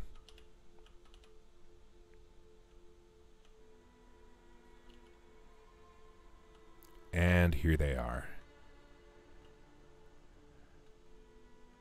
Really great. This is, and I'll pull up the mod detail page here in just a moment. Pay no attention to my crap frame rate. just look at these crystals, though. This is hands down the best crystal model I think I've ever seen. Um, yeah, those are badass, Sophie says, and uh, I agree. I agree. Looks so good. I'm just like mesmerized looking at him right now. But wait, there's more. Going back to glow in the dark, we can change it to daytime. And I hope it's not raining. This is supposed to start lighting up, though. Let's go outside, maybe, to instigate it. Detail Devil says, "Have you taken a look at of Musk and Myrrh and uh, Merc and Muscles? They add a bug musk shop and a salvage shop to Sadrith Mora. Actually, they're loaded up right now um, and will be added to the 6.x update. So, yeah, thank you for asking. They're in here, my friend.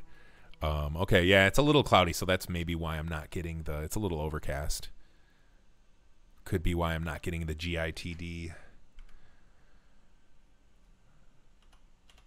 Let's go back inside, though, and just see. Well, I digress. Beautiful crystals.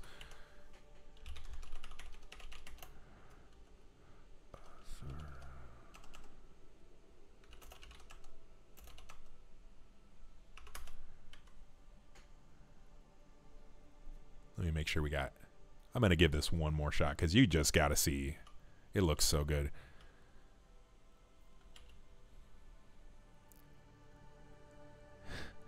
The Of trilogy is on 6.x for sure. Herdrex says, Yeah, that's a good name for it. the Of trilogy being, you know, a trio of excellent mods by our friend Detail Devil. There we go. Give me that sky. All right.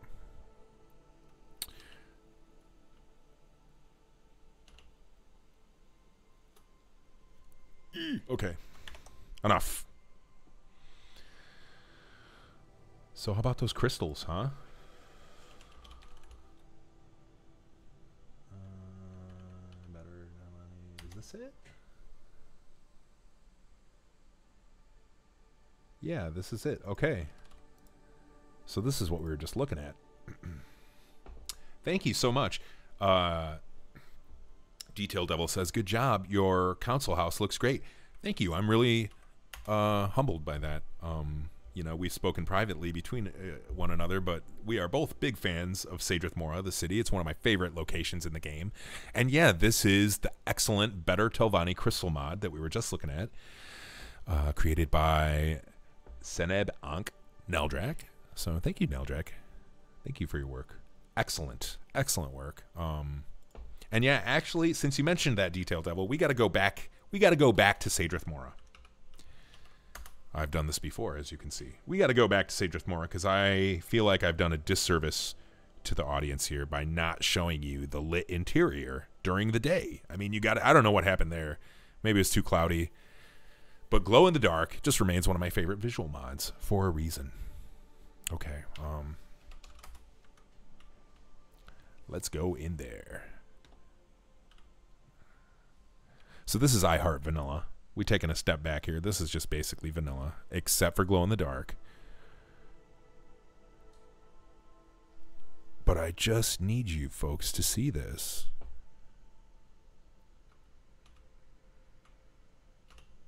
And yeah, you can see, look, it's lit up inside here.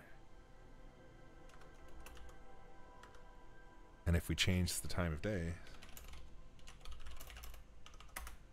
whew, no more. And if we go back outside,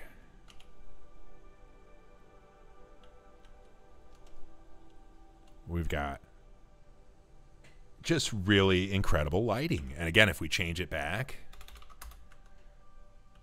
got our lighting there. Let's go inside and take a look again. Whoa, day-night switch nodes are a great thing, am I right? This is my favorite spot in the game, Detail Devil says. Right there with you, my friend. Just great.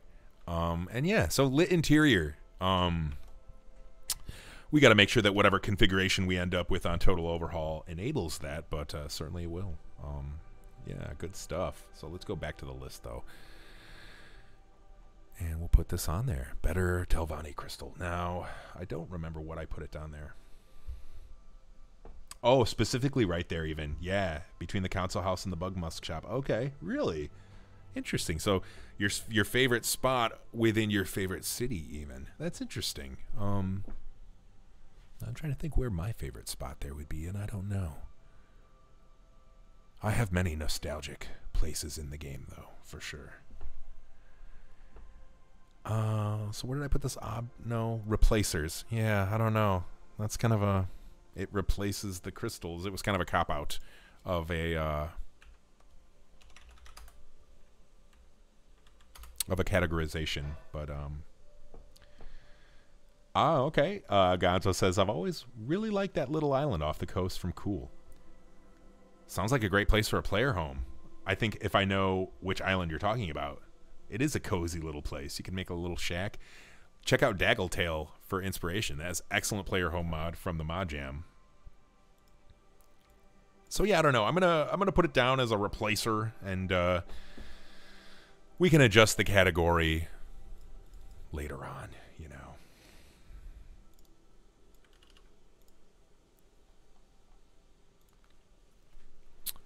Okay, do I even have this here? Replacers. I do. Okay.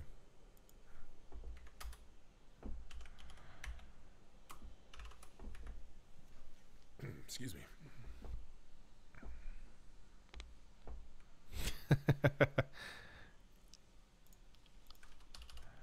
Gonzo says, as far as Telvanni locations go, though, I really like the outside of Voss and the Grazelands. I do not like navigating Voss, though. yeah, I have to agree. On the, uh, I don't mind navigating Voss, actually, the, the tower, especially the giant one. I actually don't mind, and it will be pretty cool when we can climb that tower. You know what I'm saying? All right. Oh, it takes place in your Oh yeah. Oh oh. Interesting, Herdrex. That's really interesting. Uh, and yeah, Gonzo, I'm looking at you, my man. All right. Um, and we'll note here that this has.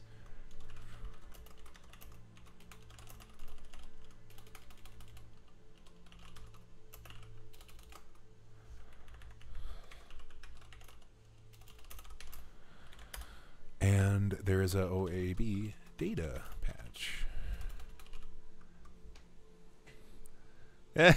Blame Baldur's Gate for the delays there. no worries, man. Um, I probably should try Baldur's Gate 3 is what I assume you're talking about. It's what all the cool kids are playing right now when they're not playing the the real coolest game in the world, also known as Morrowind. all right. yeah.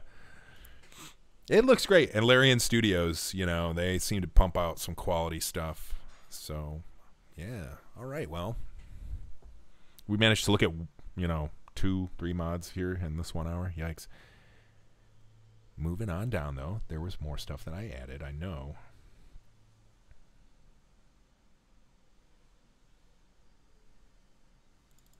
Oh, yeah, yeah, yeah. Yeah, okay. This one, Blighted, Fourth Unknowns, Beasts, Retextured. I forget who linked me to this one.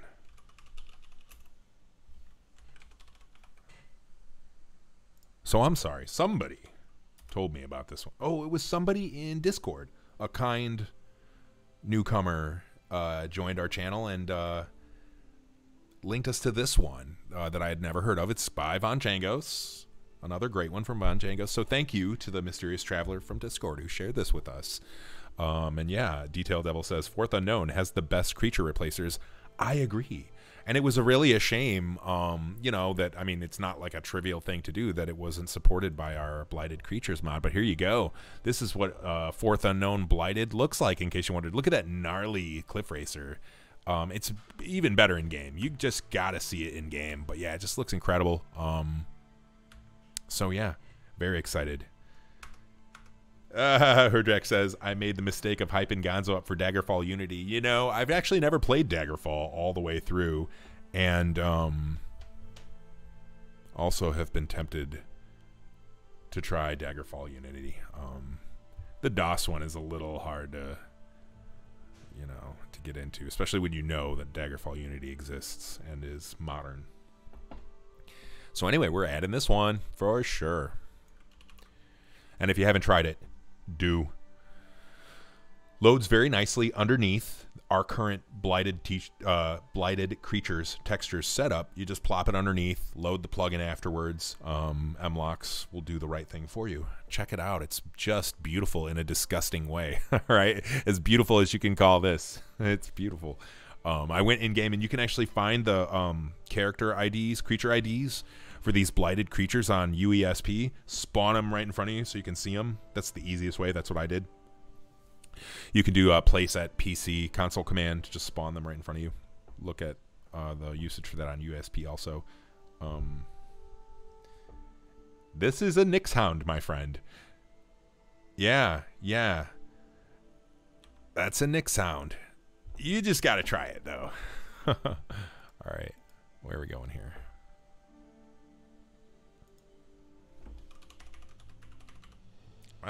So we haven't touched creatures yet, apparently. Let's do. What's left of one, right? The fourth unknown, um, Nyx Hound, looks a bit different from the vanilla ones, but I feel like they're still really faithful uh, and a good take on them. A very good take on them, I think. All right, we need uh, creatures.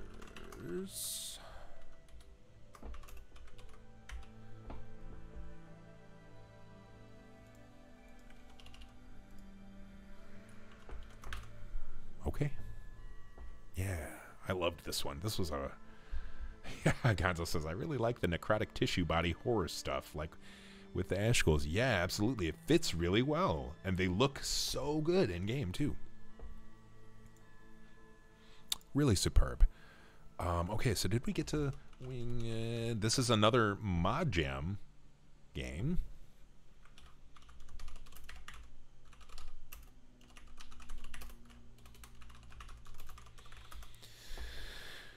Winged Twilight Rebalance. Um, I really like this one because it was one of those uh, kind of subtle tweaks to the game that I didn't know that I wanted, but uh, allows the Winged Twilight to become stronger over the course of the game. Three difficulty levels. I Heart Vanilla, Expanded vanilla. Hey, I like that. That's pretty cool. This mod is for those who like my Atronach rebalance, which we will be looking at. Chose a creature that's most suitable for the theme in the shadows. Also, some verticality there with the flying. Uh, I wonder where those names come from. Yeah, I'm a little humbled, uh, honestly, that they're using them. So, in a nutshell, without going into all of this, we have the teacher, we have the creature scaling in its ability, but it can also there's an optional version that I definitely recommend using to make the Winged Twilight actually fly. I mean, they got wings, you know. So anyway, um, in the spirit of rebalancing the game and making it more reasonable in various ways and challenging as well, uh, you know, I think we really want this one. Uh, I've been playing with it and I like it, so it's going in. There you go.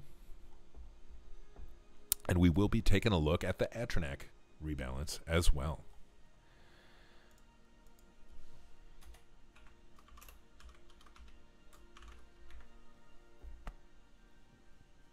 Excuse me. Coffee's coming back up. All right. Great. Hmm. Cryptic note I left for myself. Let's see what this is. And we're going to close off the stream by taking another look at S3ctor's combat mod. Oh, yeah. Anybody use this one by RP and various stitched together? Vanilla friendly creatures and undeads expansion. How do you folks feel about adding this to the mod lists? Anybody use it? Is it any good? I mean, obviously more is better. But I mean, do we actually does this fit with what we're doing? Um I'm intrigued. Yeah, I'm gonna put it in the chat for y'all. If you never tried it, do. Um, and yeah, I haven't even downloaded it yet. Um, but I've just, you know, I'm like morbidly curious. Spawning wildlife at different sizes, herders, Natch glowing sounds pretty cool, you know. Landro, we have so we have some of these, right? Oh, AAB adds this one. Spiders. I feel like a lot of these are actually covered by OAAB. New beetles and stuff.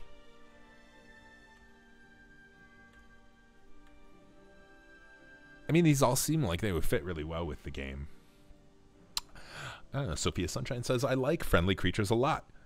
Velk from Tamriel Rebuilt are my favorite. Adds to the atmosphere. Okay, that's good to know. I'm glad that you played with it and that you like it. I'll probably install it later then. Um, it's going in. Very, very good. All right. Well, shall we go ahead and take a little combat break? Huh? I want to.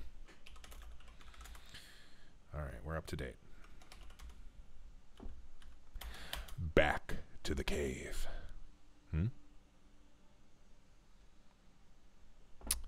All right. We'll put my trusty sword named after a basketball player.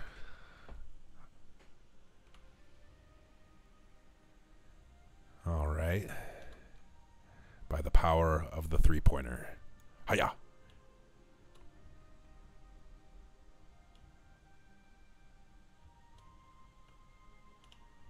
Here we go. Do do do do do do do do do. That's right.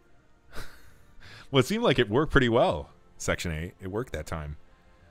Yeah, Final Fantasy music. I can't help it. I'm a JRPG boy. What can I say? All right. Well, hang on. I know I said we're to try it one more time. It works. Yeah. We're to try it one more time again without my super cheaty character, though, because the poor bandit didn't have a chance. All right. All right. I'm still going to keep my basketball player sword. Let's try it again. Huh? Huh. All right. Big mode. Here we go. Oh, oof. Yikes. No good. All right, that's fine. We'll just put some stuff down. This is how you know it's going to be a fair fight. Uh, yeah, all right. As I say, marching in, smiting bandits like like it's 89. Yeah, as I say, marching in with my basketball player sword. Okay, and uh, as a reminder too, I believe we're playing on OpenMW 0.48. Let's see here. Yeah, no profiler.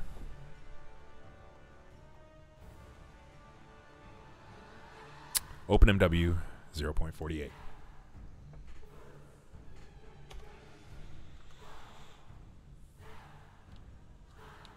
Man, gotta love that snail pace that we walk at with five. What are we? 30 speed. Okay.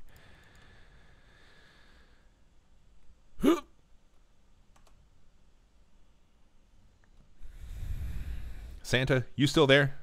What we're looking at here is a, a turn-based combat mod for Morrowind, as Todd intended.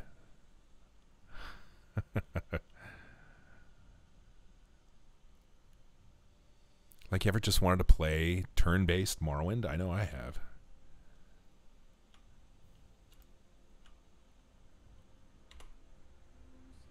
Oh, did I break it by going in without a sword again? No, okay. You waste a turn. Oh, it doesn't take a turn. Okay, it is now my turn.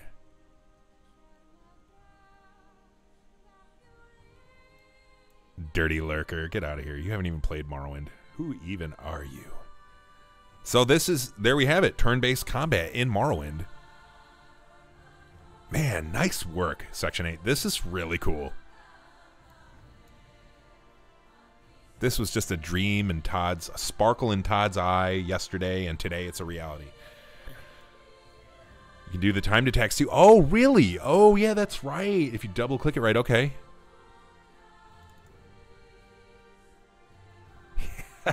that's too cool. Fumble. So I take it this probably wouldn't be compatible with Sothas, by the way, or are you factoring that in? Probably is a, a little overlap there, you know. Um, this is so cool, though. Nice work. I'm so pumped to see this a reality, you know. Uh, this is exciting. I got no skills, so this will probably last all. This fight will probably last all day, at the rate we're going, because I've got. Uh, I should really be punching her.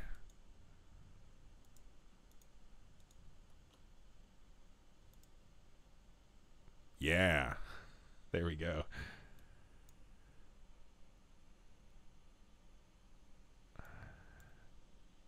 So there you have it. Morrowind is finally becoming Baldur's Gate like for realsies and not just like so I take it you probably are going to want to um make it work with Open Nevermind. Uh but yeah, then we will really have Neverwinter Nights Baldur's Gate, you know, going on here. So wow, cool. Um, I'm to deploy the site momentarily. Um, but yeah, wow. So we got a nice rounded out day here on the stream. I thank you all for joining. Um, I think we're going to wrap it up at this. Tomorrow, come back. We're going to do more work on the refactor of the CFG generator, actually chipping away at that. We'll add some more mods in and maybe play some more Baldurwind. I don't know. But uh, y'all have a great day. Thanks again for joining and happy modding. Cheers.